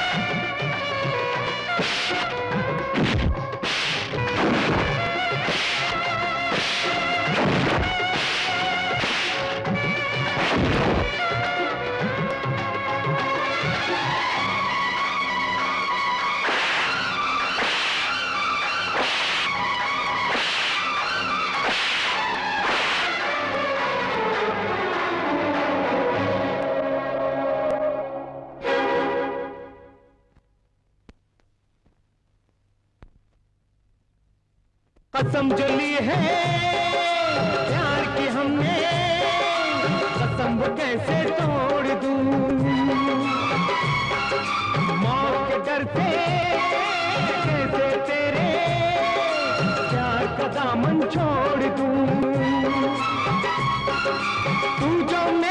साथ तो मैं वक्त का रुख भी मोड़ दूँ। प्यार का जालिम, हर दुश्मन का मौत से रिश्ता जोड़ दूँ।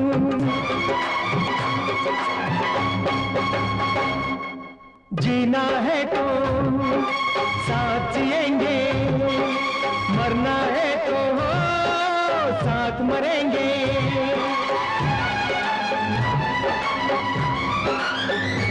मुझसे छीनेगा तुझको कोई तो फूक दूँगा मैं संसार।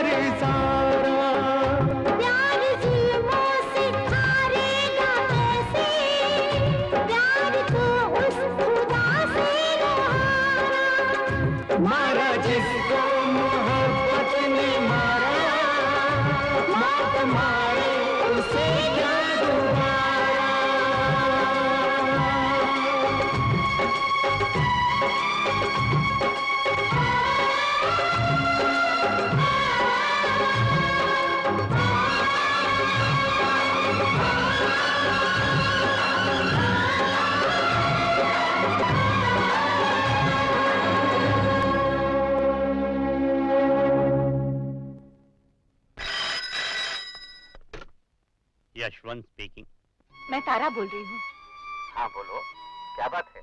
भाई साहब जिस लड़के के साथ आशा की शादी होने वाली है उसे मैंने एक दूसरी लड़की के साथ देखा है। विजय को? नहीं नहीं। ऐसे कैसे हो सकता है? वो विजय नहीं कोई और होगा।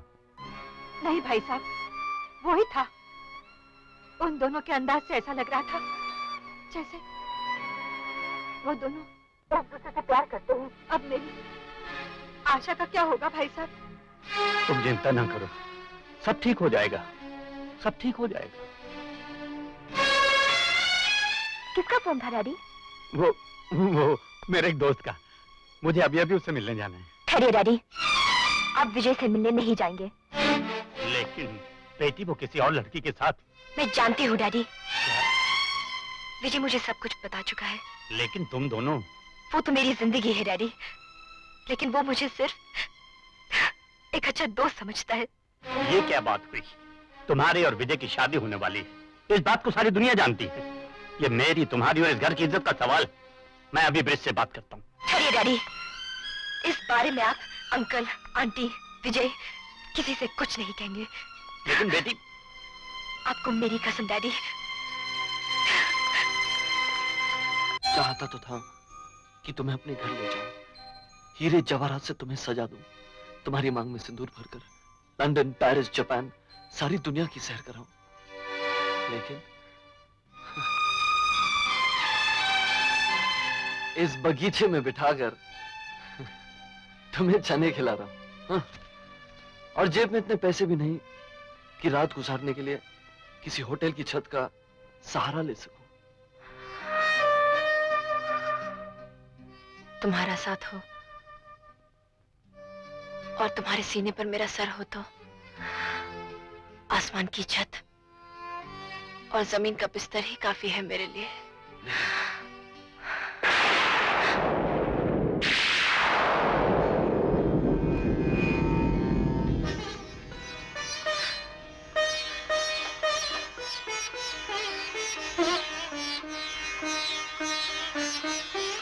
ये तो साईं बाबा की तस्वीर है। इन्हें देखकर मुझे अपने डैडी याद आ गए। तुम्हारे डैडी? हाँ। मुझे अपने डैडी की शक्ल ठीक से याद नहीं। सिर्फ़ इतना याद है कि उनके गले में एक साईं बाबा का लॉकेट हुआ करता था। जब भी वो किसी उलझन में हुआ करते थे उस लॉकेट को घुमाने लगते थे। और तुम्हारी वो आंटी? नाम मतलब उसका। वो कौन है और क्या है? मैं मैं भूल जाना चाहती हूँ। भूल जाना चाहती हूँ मैं।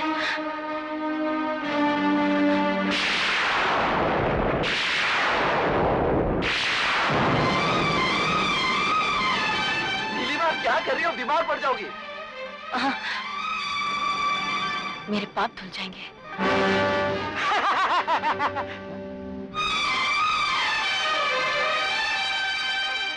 गुरु गुरु।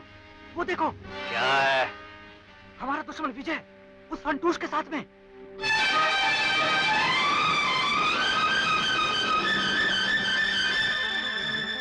हीरू पता लगाओ क्या चक्कर है। Okay thank you thank you very much मुबारक हो चुराय साहब। ब्रिजभूषण की कंपनी ने अपना माल भेजने के लिए हमारा ट्रक बुक किया है। Yes very good very good अब देखता हूँ वो साला नया इंस्पेक्टर अपना माल कैसे पकड़ता है। चिराय साहब ये नए इंस्पेक्टर को किसी तरह हम लोग अपने साथ मिला नहीं सकते? हम्म, वो अपने काम का आदमी नहीं है। वो हरामजादा बहुत ही ईमानदार ऑफिसर है। किसी किस्म की रिश्वत से सख्त नफरत करता है। तुम एक काम करो। ब्रिजभूषण की कंपनी के पैकेट्स की तरह के बिल्कुल वैसे ही पैकेट्स बनाकर उनमें चरस और हाशीश भर दो। एक ही कलर और एक ही नंबर के दो ट्रक्स होंगे।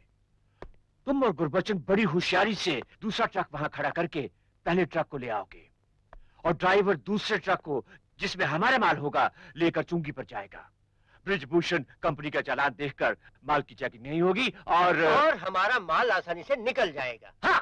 वाह चिराय साहब वाह। क्या बढ़िया स्कीम बनाई है आपने। उस ड्राइवर को तो पता भी नहीं चलेगा कि उसके ट्रक में क्या था। इसलिए मैं चाहता हूँ कि कोई शरीफ और भोली सूरत वाला ड्राइवर होना चाहिए ताकि पुलिस को जरा भी शक न हो। ड्राइवर तो काफ़ी आ रहे हैं। मैं खुद बसंती के ढाबे के करीब मौजूद रहूँगा okay? Okay. Bye. Excuse me mister Daga there oh hello mister Daga yes सुना आपको ट्रक ड्राइवर की ज़रूरत है? ये रहा मेरा लाइसेंस क्या? विजय ने डागा अंकल के यहाँ ट्रक ड्राइवर की नौकरी कर ली। हम्म यार धीरू? वो तो अमीर आदमी का बेटा है ना? गुरु बाप ने तभी तो घर से निकाल दिया है। दोनों अभी सूर्यनगर में ठहरे हुए हैं। तुम अपने डागा अंकल से कह के उस साले को नौकरी से निकलवा दो। भूखा मरेगा वो। नहीं धीरू नहीं। अब तो मैं उसका जीते जी मरने का बंदोबस्त करूँगा। वो नीलिमा से बहुत प्यार करता है ना? और अब तो नीलिमा पर अपना दिल आ गया है। उसे सजा देने का इससे बेहतरीन तरीका कोई नहीं होगा कि नीलिमा मेरी पाँव में आ जाए। नीलिमा! मुबारक हो मुझे नौकरी मिल गई मिल गई मिल गई। क्या हुआ? सारा दिन मेरा दिल घबराता रहा। ऐसा लगता था जैसे जिसम में जान ही ना हो। मैं तुम्हारे बगैर एक पल भी नहीं रह सकती विजय। एक दिन में अगर ये हाल है तो जब मैं दो तीन दिन के लिए ट्रक बाहर लेके जाऊँगा तो? दो तीन दिन? तब तो शायद मैं तब तो शायद मैं मर ही जाऊँगी। नहीं ऐसा नहीं कहते। मैं खुद एक पल तुम्हारे बिना नहीं रह सकता। इसलिए मैंने एक ऐसा रास्ता निकाला है कि तुम हर वक्त हर पल मेरे साथ रहोगी। सच? लेकिन वो कैसे होगा? बताता हूँ। लेकिन भाई बड़े जोरों से भूख लगी है। कुछ खाना तो खिला दो। ये क्या? हो गया बेटी? हाँ डैडी। अच्छा लो। सेब और खा लो। कह दिया ना डैडी। मुझे भूख नहीं है। देखो अन्नू अगर तुमने इस तरह खाना पीना छोड़ दिया तो मैं भी भूख हड़ताल कर दूँगा। क्या हालत बना ली है अपनी? क्यों? मुझे क्या हुआ? मैं तो ठीक ठाक हूँ। आप तो खामा खा सोच रहे हैं। क्या खास ठीक ठाक है? आजकल तो तू खिलखिलाकर मुस्कुराती भी नहीं। तुझे इस तरह मुरझाया हुआ देखकर मेरा जी घबरा जाता है। अरे मेरी तो सारी ज़िंदगी तू ही है अन्नू।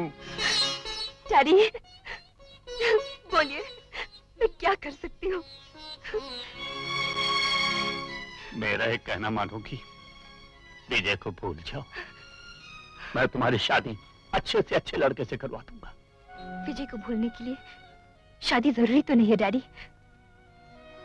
यादें भी तो जीवन साथी ही होती है।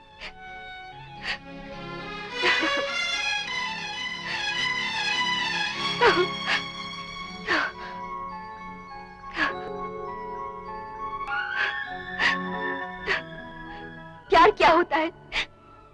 ये मैंने तुमसे जाना है, विजय। तुम मेरे हो ना हो। मेरी यादों को मुझसे नहीं छीन सकते। नहीं छीन सकते।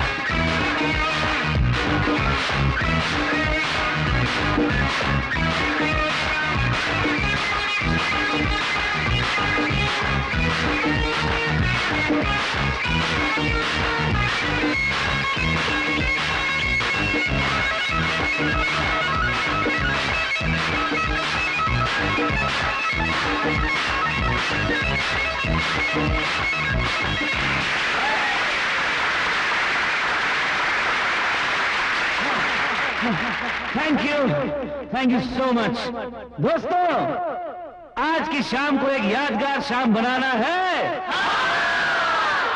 आप सब हमारा साथ देंगे। हे यू कौन मैं? हाँ तुम। क्या नाम है तुम्हारा? अनु अनु।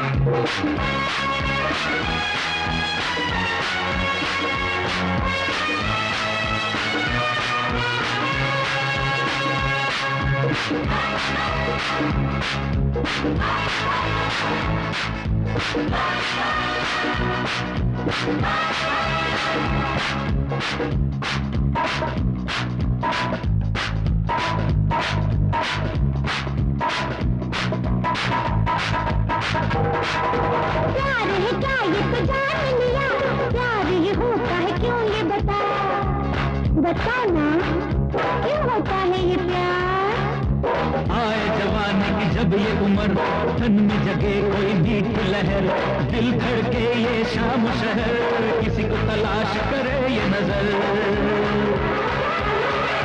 मन चाहा वो मिले जो कहीं हो ये शुरू सिलसिला।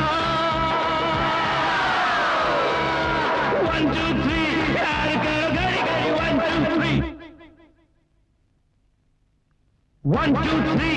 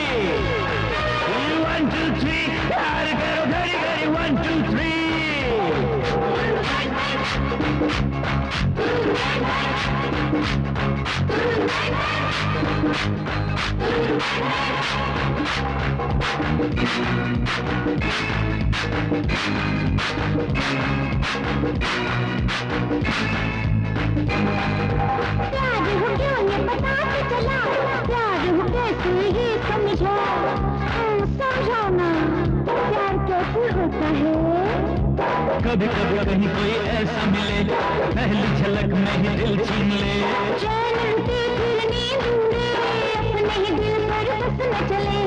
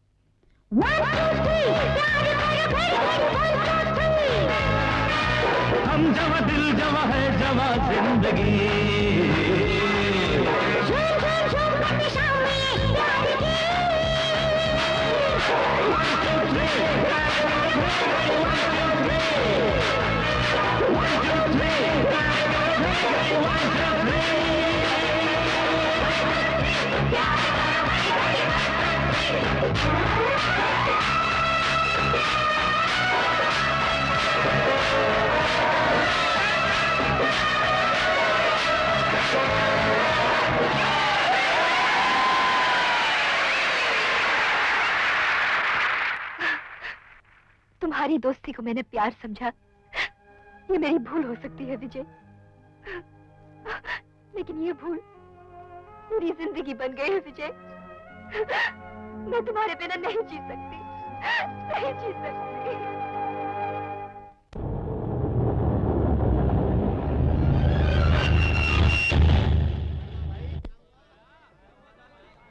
बसंती ढाबा।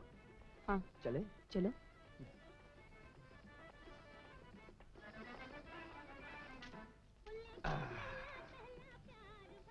ओ ले मुंडिया डाल दे।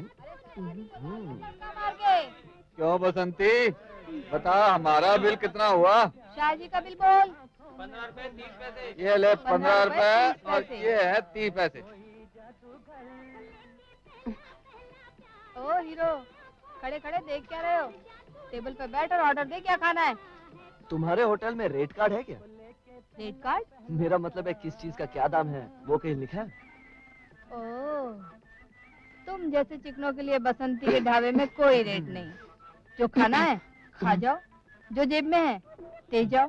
कम ज़्यादा का हिसाब बसंती बाद में कर लेगी। ओ छोकरे इन दोनों का ऑर्डर ले। अब पता चला कि ट्रक वाले बसंती के ही ढाबे में खाना क्यों खाते हैं। हम्म।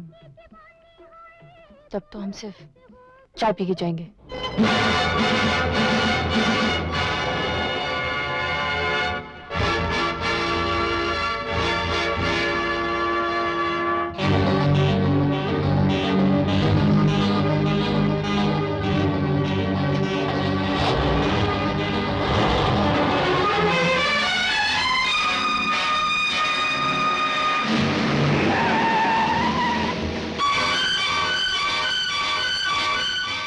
सलाम गुरबचन साहब। आप?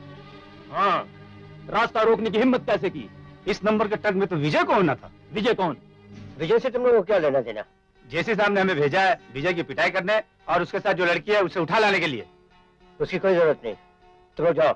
ये चकली हमारी तरफ़ से। क्या? चिकनो? बच गए। हाँ? अरे? ए, मेरा ट्रक कहाँ ले जा रहा हाँ? विजय हमारा ट्रक तो वहाँ खड़ा हुआ है। अरे माफ़ कर देना भाई साहब आपका ट्रक तो एकदम अपनी ट्रक की तरह है यार। और नंबर भी एक जैसा? है अरे विजय तुम इस चक्कर में मत पड़ो। सेठ जी आप यहाँ? हाँ। देखो तुम्हारा ट्रक वो है। तुम वो ले जाओ। चलो गुरबचन चलो। एक मिनट सेठ जी एक मिनट। जब तक एक जैसे दो ट्रकों का मतलब अपनी समझ में नहीं आएगा यहाँ से कोई नहीं जाएगा। अबे ओ घोंचू तुझे बोला ना कि वो तेरा ट्रक है। जाने जो से अबे तेरी तो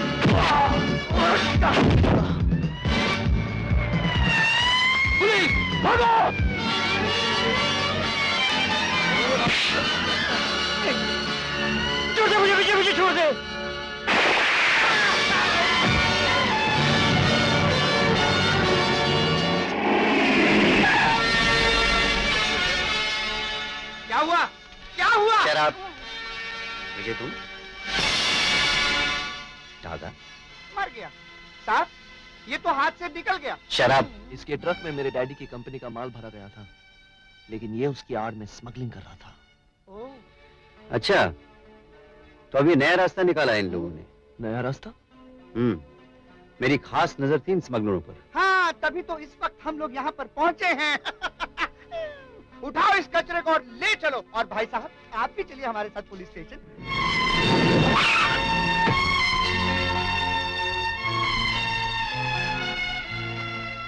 Hello inspector hello Brij हाँ भाई मुझे कैसे ये? ये यहाँ क्या कर रहा है? ये यहाँ क्या कर रहे हैं? हाँ? ब्रिज साहब आज इसी की वजह से तो आपकी कंपनी की इज़्ज़त बच गई। मतलब? आपका जो माल एक्सपोर्ट्स के लिए जा रहा था उसी के पैकेट बदल कर उसमें चर्स और हशीश भेजी जा रही थी। व्हाट कौन भेज रहा था? भेजने वाले का भी पता चल जाएगा। फ़िलहाल आप अपने बेटे का शुक्रिया अदा कीजिए। जिस तरह से इसने कंपनी की इज़्ज़त बचाई काश कि ये अपने बाप की इज़्ज़त भी बचा लेता। इंस्पेक्टर साहब अब लगता है मेरी यहाँ कोई ज़रूरत नहीं है। मैं चलता हूँ। ठहरो। मेरे साथ घर चलना। आई एम सॉरी डैडी बाहर मेरा कोई इंतज़ार कर रहा है। विजय! पुलिस वालों ने तुम्हें कुछ कहा तो नहीं? अरे पगली घबराती क्यों? मुझे क्या होगा? विजय!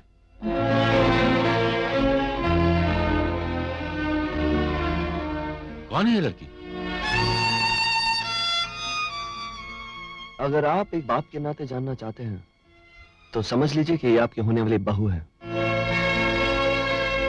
हम्म। अगर तुम ये पहले बता देते कि तुम किसी और लड़की से प्यार करते हो तो शायद तुम्हें घर छोड़ने की नौबत ही ना आती है। खैर इस वक्त तुम मेरे साथ घर चलो मैं इसके बाप से बात करूँगा। ठहरिए डैडी इससे पहले कि आप धक्के देकर मुझे घर से निकाल दें मैं आपको इसके बारे में सब कुछ बताना चाहता हूँ। इसका नाम नीलिमा है। एक शरीफ बाप के घर में इसने जन्म लिया इतना ऐसा याद है। लेकिन अब मेरे सिवाय इसका इस दुनिया में और कोई नहीं। लेकिन तुमसे पहले इसका कोई तो सहारा होगा। एक अनाथ जवान लड़की का इस दुनिया में एक ही सहारा होता है। उसका जिस्म। ये एक कॉल गर्ल थी।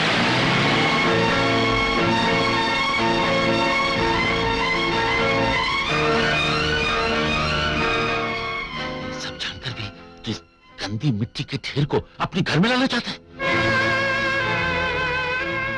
हाँ डैडी। क्योंकि मेरा दिल मिट्टी के ढेर में छुपे हुए सोने को अच्छी तरह पहचानता है। मैं तुम्हें इस बात की इजाज़त मरते दम तक नहीं दूँगा। मैं जानता था डैडी। इसलिए यही बात कर ली। चलो नीलिमा। रुक जाओ। और सुनो अगर तुमने इस लड़की से शादी की तो मैं समझूँगा कि तुम मेरे लिए जीते जी मर गए। चलो। नीलिमा क्या सोच रहे हो? ज़िंदगी कितने रंग बदलती है। तब जीती थी तो जीने की तमन्ना नहीं थी। हँसी आती भी थी तो आँसू में डूबी हुई। कोई खुशी कोई ख्वाहिश कोई अरमान दिल में था ही नहीं। और आज जैसे दिल तमन्नाओं का सागर बन गया हो तुम्हारा साथ तुम्हारा प्यार तुम्हारी पूजा मन करता है अपना सब कुछ निछावर कर दूँ तुम पे। ये खूबी सिर्फ़ प्यार में होती है नीलिमा। सच्चा प्यार जिसके डोर में बनकर दो अजनबी सारी ज़िंदगी एक साथ गुजार देते हैं। लेकिन मुझे डर लगता है विजय। ये खुशी मुझसे छिन ना जाए। जमाने के जालिम हाथ हमारे प्यार की डोर को तोड़ ना दे।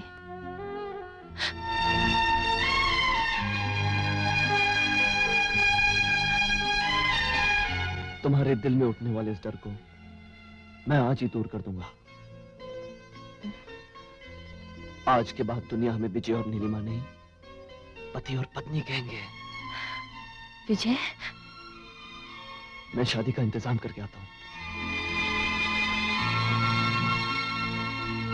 क्या कहा? अन्नू ने नीम की गोलियाँ खा ली। मैं मैं अभी आता हूँ। अन्नू डॉक्टर कैसी है मेरी बेटी? भगवान का लाख लाख शुक्र है कि मैं वक्त पर आ गया वरना बचने की कोई उम्मीद नहीं थी। थैंक यू अन्नू ये तूने क्या किया? ये भी नहीं सोचा कि अगर तुझे कुछ हो जाता तो तेरा डैडी तो जीते जी मर जाता। सॉरी डैडी विजय की यादों ने मुझे सब कुछ भुला दिया। मत रोइए डैडी मत रोइए। मैं दोबारा ऐसा नहीं करूँगी। आपकी कसम, ऐसा नहीं करूँगी। कभी नहीं करूँगी। अब मैं क्या करूँ ब्रिज? अन्नू के दिलो दिमाग पर विजय अभी तक बुरी तरह से छाया हुआ है। अब देखो ना आज ही जो कुछ उसने किया उससे साफ़ ज़ाहिर है कि उसे जीने का मोह नहीं। वो कभी भी कुछ भी कर सकती है। हाँ ठीक कहते हो यश। मुझे देखो क्या सोचा था और क्या हो गया? जायदाद से बेदखल करने की धमकी दी तो उल्टा मेरे मुँह पे तमाचा मार के चला गया। वो तो हमेशा से बागी और जिद्दी किस्म का लड़का है। एक बार जो कहता है वो ही करता है। आपको उसके बारे में पहले से ही सोचना चाहिए था। अब आप अकेले अपनी दौलत संभालिए। दौलत? यश इस बात का एक हल हो सकता है। क्या? उस लड़की को विजय की ज़िंदगी से हटा दिया जाए। क्या कह रहे हो तुम? हाँ हाँ यश ऐसी लड़कियाँ पैसों की लालची होती है। उसे जितना पैसा चाहिए मुझसे ले लो। लेकिन मुझे मेरा बेटा चाहिए यश। मरानू की ज़िंदगी।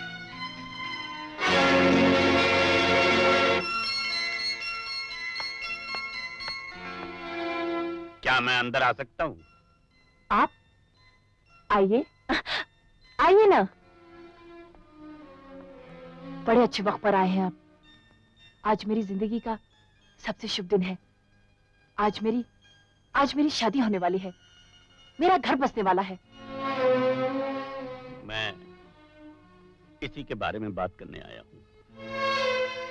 इस बारे में? विजय के पिताजी ने मुझे भेजा है। क्यों? उन्होंने ये ब्लैंक चेक दिया है। इसमें जितनी चाहे रकम भर लो और विजय को छोड़ दो।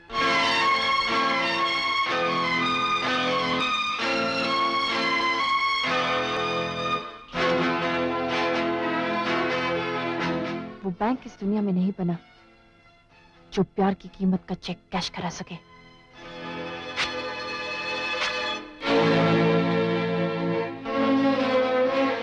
लेकिन तुम्हारा प्यार विजय की ज़िंदगी को बर्बाद कर देगा। ये नहीं सोचा तुमने? पुजारी का प्यार पत्थर को परमात्मा बना देता है। इश्क बुद्ध को खुदा का दर्जा देता है। ये सब किताबी बातें हैं। असलियत यह है कि तुम एक वैश्या हो। तन बेचना तुम्हारी आदत बन चुकी है। मजबूरी ने मेरा तन ज़रूर बेचा है लेकिन मन का हकदार मेरी ज़िंदगी में पहली बार आया है। और उससे मुझे मौत के सिवाय कोई जुदा नहीं कर सकता। अब आप जा सकते हैं। मौत विजय की भी हो सकती है। वकील साहब। विजय की पत्नी बनने के बाद अगर किसी ने विजय से कहा कि वो तुम्हें खरीद चुका है तुम्हारे साथ रात बिता चुका है। तुम्हारे शरीर के एक एक तिल को जानता है। तो क्या विजय उस आदमी का खून करके फांसी पर नहीं चढ़ जाएगा? आप अपनी दलीलों से मुझे डराने की कोशिश करते हैं। आप वही है ना, जिसने पुलिस स्टेशन में मुझसे उस दिन कहा था, लड़की, ये धंधा छोड़ दो और शराफत की ज़िंदगी बिताओ। और आज जब मैं अपनी ज़िंदगी के शानदार मोड़ पर खड़ी हूँ, आप मुझे कीचड़ में फिर से ढकेले आए हैं। क्यों? आप क्यों नहीं चाहते मेरी ज़िंदगी सवर जाए? क्यों? क्यों? क्योंकि उस दिन पुलिस स्टेशन में तुम्हें मशवरा देने वाला एक इंसान था।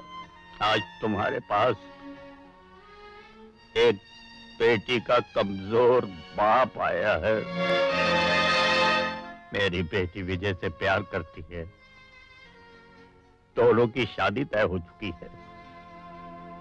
अगर उसे विजय न मिला तो मुझे डर है, वो जी ना सकेगी। आज मेरा बाप होता तो वही करता जो आप अपनी बेटी के लिए कर रहे हैं।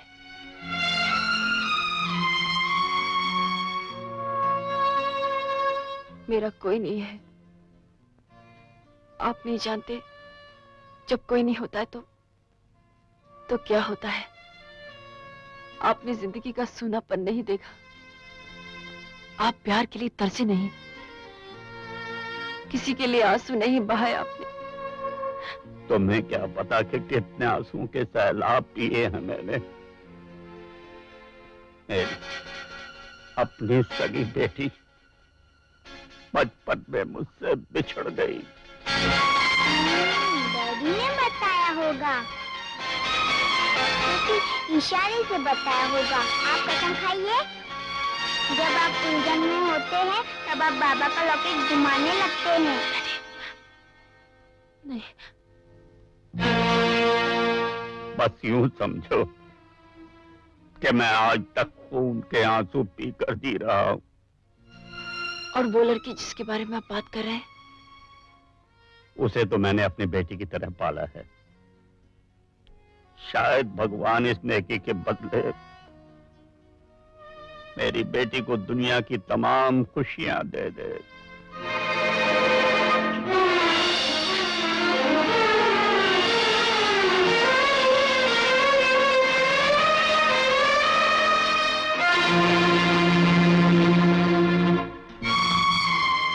आप जाइए। मुझे आपके पास आ जाएगा। सच? लेकिन अब तक तो तुम जिद कर रही थी। एक पल के लिए मेरे प्यार ने मुझे खुद गर्ज बना दिया था।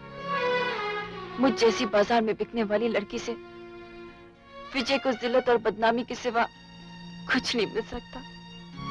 अपनी खुशी के लिए मुझे उसकी ज़िंदगी बर्बाद करने का कोई हक नहीं। तुमने एक भिखारी बाप की झोली भर दी बेटी। बेटी? अगर बेटी का है तो पाप बन के आशीर्वाद दीजिए। अगर विजय तुम्हें छोड़ने को तैयार ना हुआ तो? वो मुझे सिर्फ़ छोड़ने को ही नहीं मुझसे नफरत भी करने लगेगा।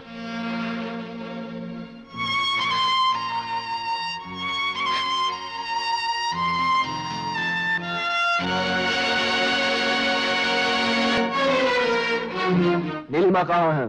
तुम्हें इससे मतलब? वो मेरी होने वाली धर्म पत्नी है। और आज हमारी शादी है बुलाइए उसे। मैं पूछना चाहता हूँ कि किसके डर से वो यहाँ चली आई? मैं अपनी मर्ज़ी से यहाँ आई हूँ। नीलिमा जेसी साहब आप बाहर मेरा इंतज़ार कीजिए। मैं भी आती हूँ। श्योर डार्लिंग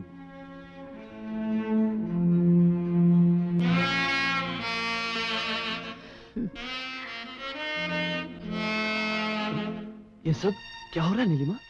तुम यहाँ क्यों आई? क्यों पहन रखा है ये गंदगी का लिबास?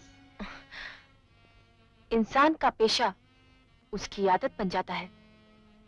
और मेरा पेशा मेरी आदत बन चुकी है विजय साहब। नीलिमा? वो टूटा फूटा घर रूखी सूखी रोटी दो जोड़ी कपड़े भिखारियों जैसी ज़िंदगी में रखा है क्या है हाँ? ये? तुम कह रहे हो नीलिमा? तुम? जो उस घर को स्वर्ग लोग समझती थी? मेरा प्यार जीवन भर का साथ जिसका सपना था? सपना हकीकत की चट्टान से टकराकर आईने की तरह चकनाचूर हो गया। तुम्हारे हर सपने को हकीकत में बदल दूँगा चोरी करूँगा डाके डालूँगा। तुम्हारी हर ख्वाहिश पूरी करूँगा। बेहतर यही होगा कि तुम यहाँ से चले जाओ। तुम्हारी मंजिल और हमारे रास्ते और हाँ, तुम्हारा और हमारा साथ कभी नहीं हो सकता। मज़ाक मत करो नीलिमा। तुम अच्छी तरह जानती हो कि मैं तुम्हारे बिना एक पल नहीं जी सकता। नीलिमा। और अब मैं तुम्हारे साथ एक पल भी नहीं रह सकती। और वो बातें साथ निभाने की कसम है। वो तो सब एक ढोंग था, एक नाटक था। मेरा हर खरीदार बिस्तर पर लेटे हुए, मेरे प्यार का दम भरता है। बिना बिस्तर पर सोए हुए, क्या मैं किसी शरीफ और इज्जतदार आदमी को अपना दीवाना बना सकती हूँ? इतना दम मुझमें है कि नहीं, वो मुझे देखना था। मैंने देख लिया, मिस्टर विजय। हम में बहुत दम है। Come on, darling. Come.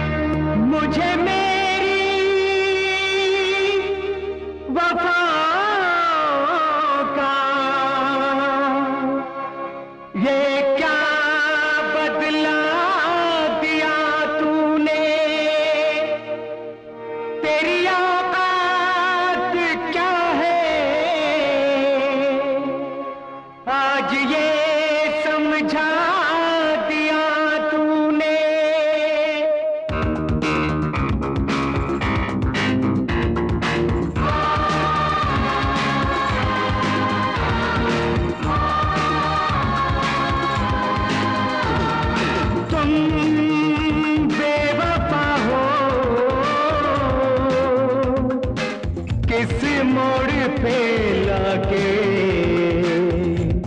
मेरा प्यार भरा दिल तोड़ दिया।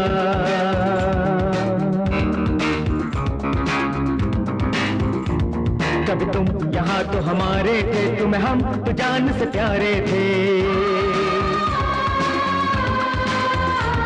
फिर क्यों यहाँ दौलत के लिए तुम दिल के सपने बेच दिए?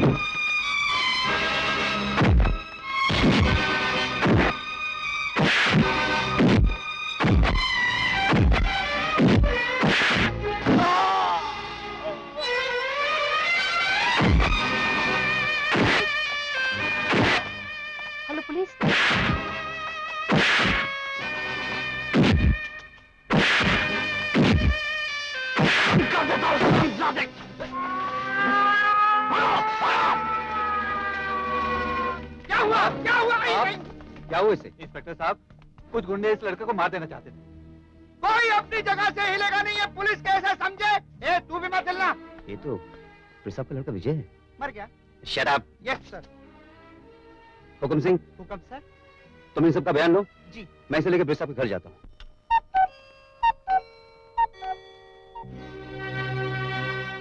माँ। हाँ बेटे। ऐसा लग रहा है कि आज तक मैं बहुत ही भयानक सपना देख रहा था।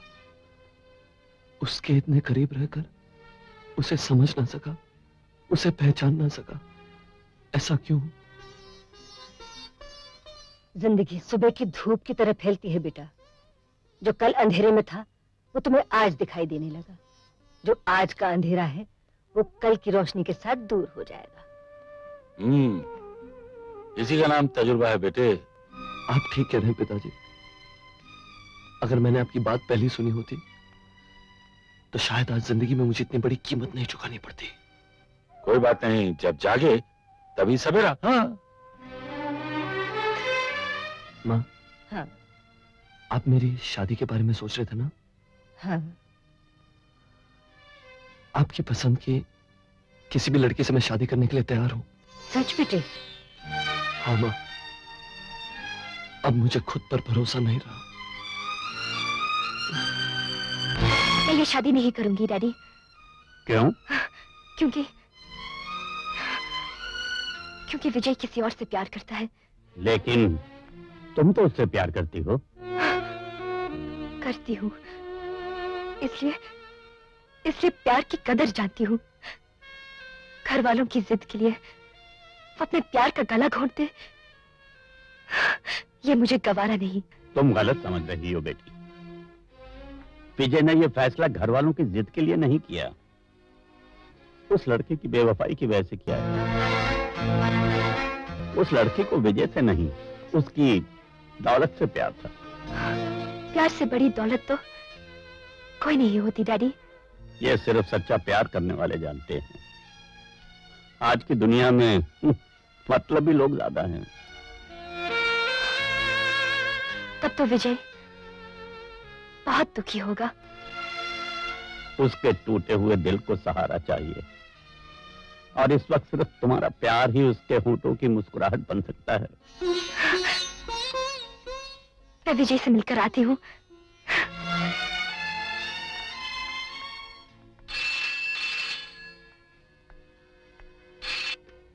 यस यशवंत स्पीकिंग मैं नीलिमा बोल रही हूँ। नील नीलम? विजय विजय शादी के लिए राज़ी हुआ कि नहीं? हाँ राज़ी हो गया है। समझ में नहीं आता तुम्हारा किस जबान से शुक्रिया अदा करूँ।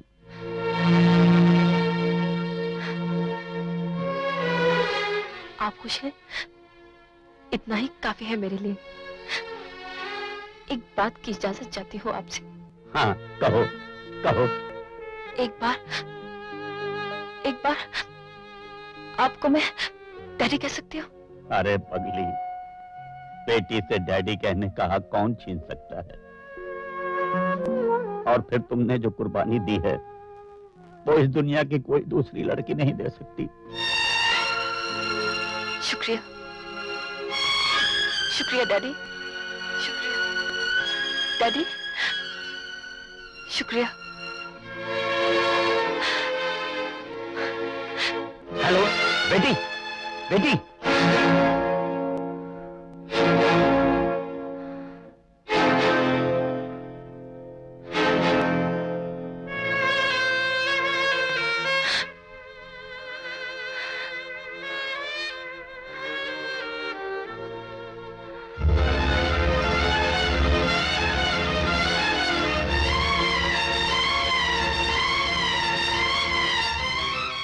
बेवफा नहीं हूँ विजय। मैं बेवफा नहीं हूँ। हरामखोर मेरा बैंक बंद करना चाहती है? मुझे मर जाने दो आंटी मुझे मर जाने दो। ऐसे कैसे मर जाने दूँ? अभी तो तुझसे लाखों कमाने हैं। चल। मुझे मर जाने दो। चल जल्दी से तैयार हो जा। मैंने जेसी को बुलाया है तुझे उसके साथ जाना है। मैं नहीं जाऊँगी। मैं कोई भी बुरा काम नहीं करूँगी कोई भी बुरा काम नहीं करूँगी। अरे तू क्या तेरा बाप भी करेगा?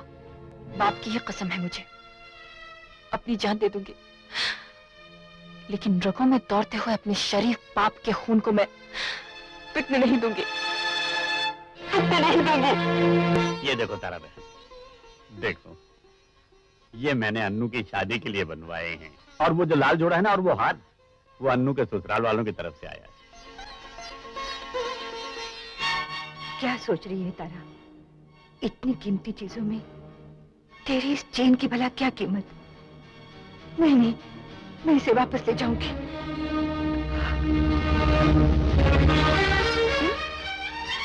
तुम यहाँ? वो बेटी खबरदार जो अपनी गंदी ज़ुबान से मुझे बेटी कहा। क्या लेने आई थी यहाँ? क्या है तेरे हाथ में? चोर कहीं की? ये चुराने आई थी? नहीं। क्या हुआ? डैडी ये जेवर चुराने आई थी। ये जेवर हमारा नहीं है। क्या उतारा ये क्या कह रहे हैं डैडी? इसे पुलिस के हवाले कर दीजिए। इसने कोई चोरी नहीं की। तुम जाओ तारा डैडी आप इसे नहीं जानते ये पक्की चोर है। जेल जा चुकी है। इसलिए कॉलेज से भी निकाली गई थी। वो यहाँ चोरी करने नहीं आई थी। तो फिर क्यों आई थी? तुम्हारे लिए ये जानना ज़रूरी नहीं है। आज तक आपने मुझसे कभी कुछ नहीं छुपाया। तुम समझने की कोशिश क्यों नहीं करती क्या समझू मैं? एक दो टके की घटिया औरत हमारे घर में आई। जेवर वाले कमरे से बाहर निकली। सोने की चेन उसके हाथ में थी। और मेरे डैडी कह रहे कि वो चोरी करने नहीं आई। वो मुझसे मिलने आई थी। आपसे? क्यों? अनु मैं एक वकील रह चुका हूँ। अच्छे बुरे सभी तरह के लोग मुझे जानते हैं। हर मिलने वाले के बारे में तुम्हें नहीं बताया जा सकता। मैं सिर्फ़ इस औरत के बारे में जानना चाहती हूँ। एक तो ये चुड़ैल मेरे कॉलेज में थी। दूसरे पता नहीं क्यों उस मनुष्य को देखकर मुझे जीती बेचैनी होने लगती है। इस चोरनी को देखकर मेरा दिल मेरा दिमाग घूमने लगता है। मैं इस औरत से नफरत करती हूँ नफरत। अब बंद करो इस टॉपिक को। नहीं डैडी मेरे दिल में यह सवाल कांटा बनकर चुपता रहेगा। आपकी अच्छाई आपकी इज़्ज़त आपकी शराफत पर हमेशा मुझे फक रहा है। लेकिन आज मुझे बताइए डैडी आप उस बदजात औरत को कैसे जानते हैं? क्या संबंध है उसका आपसे? इस घर से? का संबंध इस घर से नहीं मुझसे नहीं तुमसे है। मुझसे? हाँ तुमसे। तुम्हें बचाने के लिए उसने एक आदमी का खून किया। जेल गई और आज तक दरबदर की ठोकरें खा रही। लेकिन क्यों? उसने ऐसा क्यों किया? क्योंकि वो तुम्हारी माँ है। सगी माँ।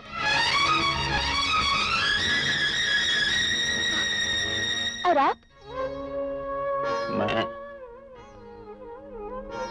मैं एक ऐसा बाप हूँ जिसने अपनी सगी बेटी को खोकर तुम्हें अपनी बेटी बना लिया।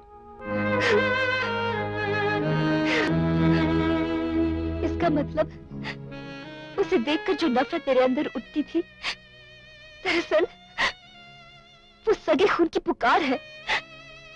उसने मुझे जन्म दिया और मैंने मैंने उसको कितना दुख दिया, कितना दुख दिया।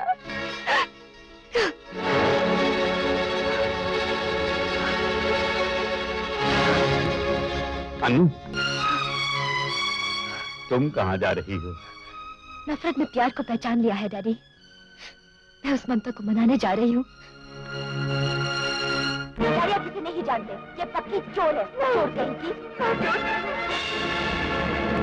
मुझे मर जाना चाहिए। मुझे मर जाना चाहिए। छोड़ दो मुझे।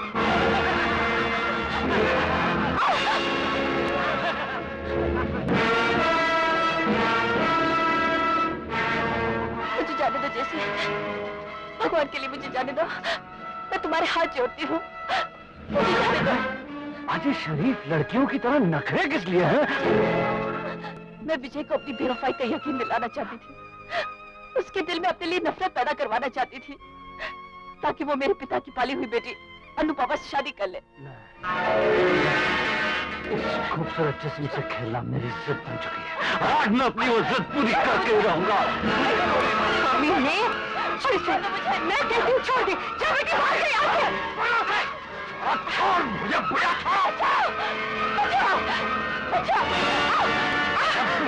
छोड़ मुझे मैं तुझे नहीं जाने दूँगी। नहीं तो जान से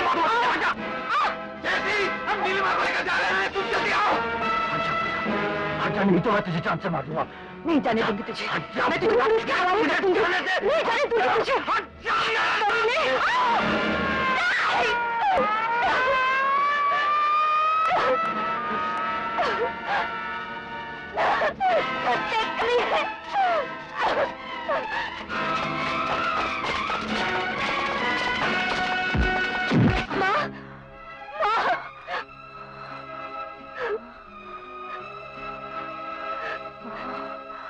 डैडी ने मुझे सब कुछ बता दिया है। मैं तुम्हारी ममता को पहचान ना सकी। मुझे माफ़ कर दो माँ मुझे माफ़ कर दो। आखिरी वक्त में तुमने मुझे माँ कहा। नहीं माँ तुम्हें कुछ नहीं होगा माँ तुम्हें कुछ नहीं होगा।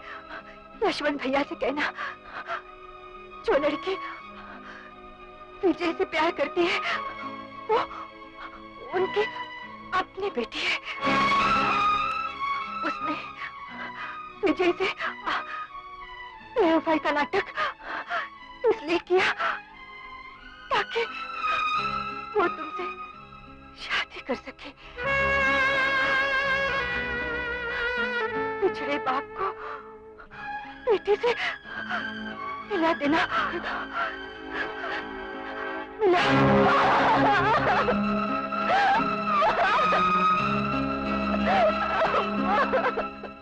नहीं मेरे बेटे को सजा नहीं हो सकती। उसे किसी भी कीमत पर बचना होगा वकील साहब। उसका सिर्फ़ एक ही रास्ता है। क्या? इस खून की चश्मदीद गवाह अनुपमा है यशवंत सिन्हा की बेटी। यशवंत सिन्हा? वो वकील तो नहीं? जी हाँ। अगर वो सच्ची गवाही न दे नहीं देगी। वो गवाही नहीं देगी वकील साहब। हाँ, हाँ, सगी बेटी को बचाने के लिए यशवंत सिन्हा अपनी पाली हुई बेटी को मजबूर कर देगा कि वो सच्ची गवाही दादी हाँ हाँ मैं सच्ची गवाही नहीं दूँगी। मैं कहूँगी ये खून जेठी ने नहीं किया। नहीं बेटी, वो तेरी माँ का कातिल है। उसे फांसी के फंदे पर चढ़वाना ही चाहिए। और नीलिमा को मर जाना चाहिए? कितने दुख उठाए उस बेचारी ने। इज़्ज़त की ज़िंदगी बाप का साया, प्यार तकदीर ने सब कुछ छीन लिया उससे। और मैं उसकी ज़िंदगी भी छीन लू। नहीं डैडी आज मेरे पास जो कुछ भी है, वो नीलमा का कर्ज है। और ये कर्ज मैं उसे किसी भी कीमत पर लौटाऊँगी। अनु तुम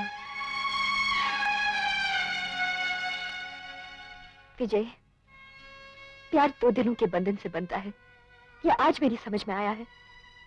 मेरा दिल तुम्हें ज़िंदगी भर एक सच्चा दोस्त मानेगा। इस दोस्त की ख्वाहिश पूरी करोगे? नीलिमा को इतनी खुशी देना इतनी खुशी देना कि वो अपने सारे दुख भूल जाए। लेकिन बेटी, चिनाय बड़ा ही कमीना आदमी है। परसों पहले मुझसे दो लाख रुपया लेकर भी उसने नीलमा को मुझसे अलग कर दिया था। और अब अगर तुम्हारी झूठी गवाही देने के बाद भी उसने उसे न छोड़ा तो? भगवान की कसम, अंकल। अब तो भगवान भी मुझे नीलिमा से अलग नहीं कर सकता? You are great. मैं सोच भी नहीं सकता था कि आप मुझे इस तरह से बचा लेंगे। तुम मेरी जान हो बेटे। जब तक मैं ज़िंदा हूँ तुम्हारा कोई बाल भी बांका नहीं कर सकता। आई लव यू डैड लेकिन डैड आपने नीलिमा को कहा छुपा रखा है? उसे ऐसी जगह रखा है बेटे जहाँ परिंदा भी पर नहीं मार सकता। डैड अभी हम वहीं जा रहे हैं नीलिमा के पास। नहीं पहले हम घर जाएँगे। तुम अपना सामान उठाकर सीधे एयरपोर्ट जाओ। लेकिन डैड, मैं वो नीलिमा बेटे, कानून की लड़ाई तो हमने जीत ली है, लेकिन इससे पहले यशवंत को चाल चले, मैं नीलिमा की लाश को उसके दरवाजे पर फेंकवा दूँगा। लाश तो तेरे बेटे के गिरेगी चिनॉय अपने इस इकलौते बेटे की ज़िंदगी चाहते हो तो चुपचाप मुझे वहाँ ले जाओ, जहाँ नीलिमा कैद है। चलो, जल्दी चलो चलो! ले चलो उधर। बेटी की गाड़ी आ रही है!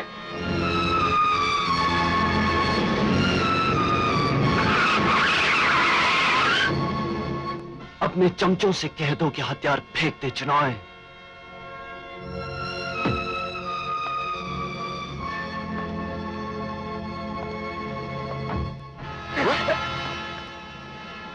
नहीं! फेंक दो! सब लोग अपने अपने हथियार फेंक दो! नीलिमा कहाँ है? अंदर चल।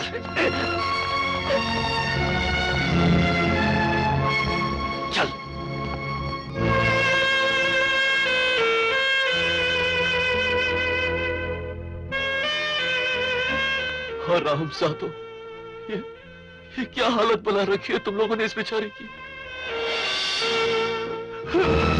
चल खोल इसे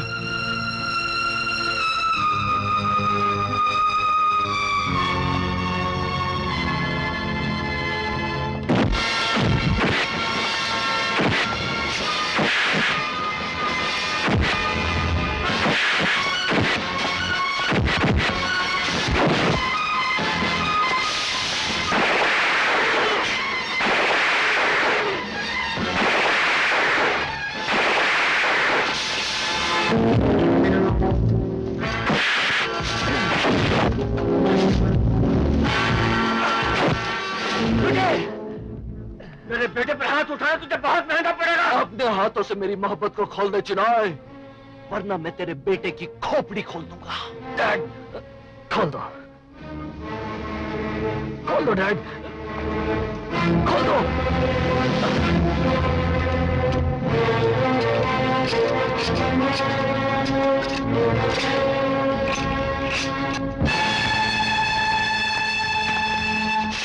चला चला सकता तो चला दे गोली लेकिन मेरे बेटे के साथ साथ तेरी मोहब्बत की लाश भी यही गिर जाएगी। चले जाओ यहाँ से विजय। चले जाओ। चले जाओ यहाँ से। नहीं नीलिमा अब मौत के सिवाय हमें कोई जुदा नहीं कर सकता। मिलेगी। तुम दोनों को मौत की सजा ज़रूर मिलेगी। लेकिन इससे पहले जो चोट तूने चिनाए के दिल पर लगाई है उसका हिसाब चुकाना होगा तुम्हें, विजय। तूने मेरी आँखों के सामने मेरे जान से प्यारे बेटे पर हाथ उठाया है। मारो उसे। मारो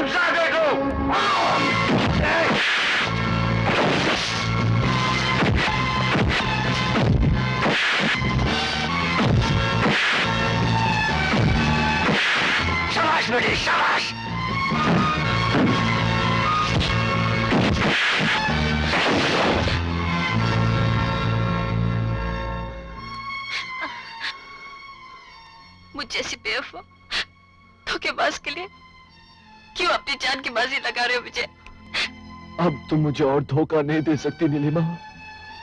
अनुपमा ने मुझे सब कुछ बता दिया है।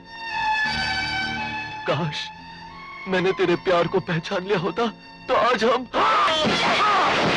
आज अपनी आँखों के सामने अपने प्यार की इज़्ज़त लुटते हुए कैसे देते जैसे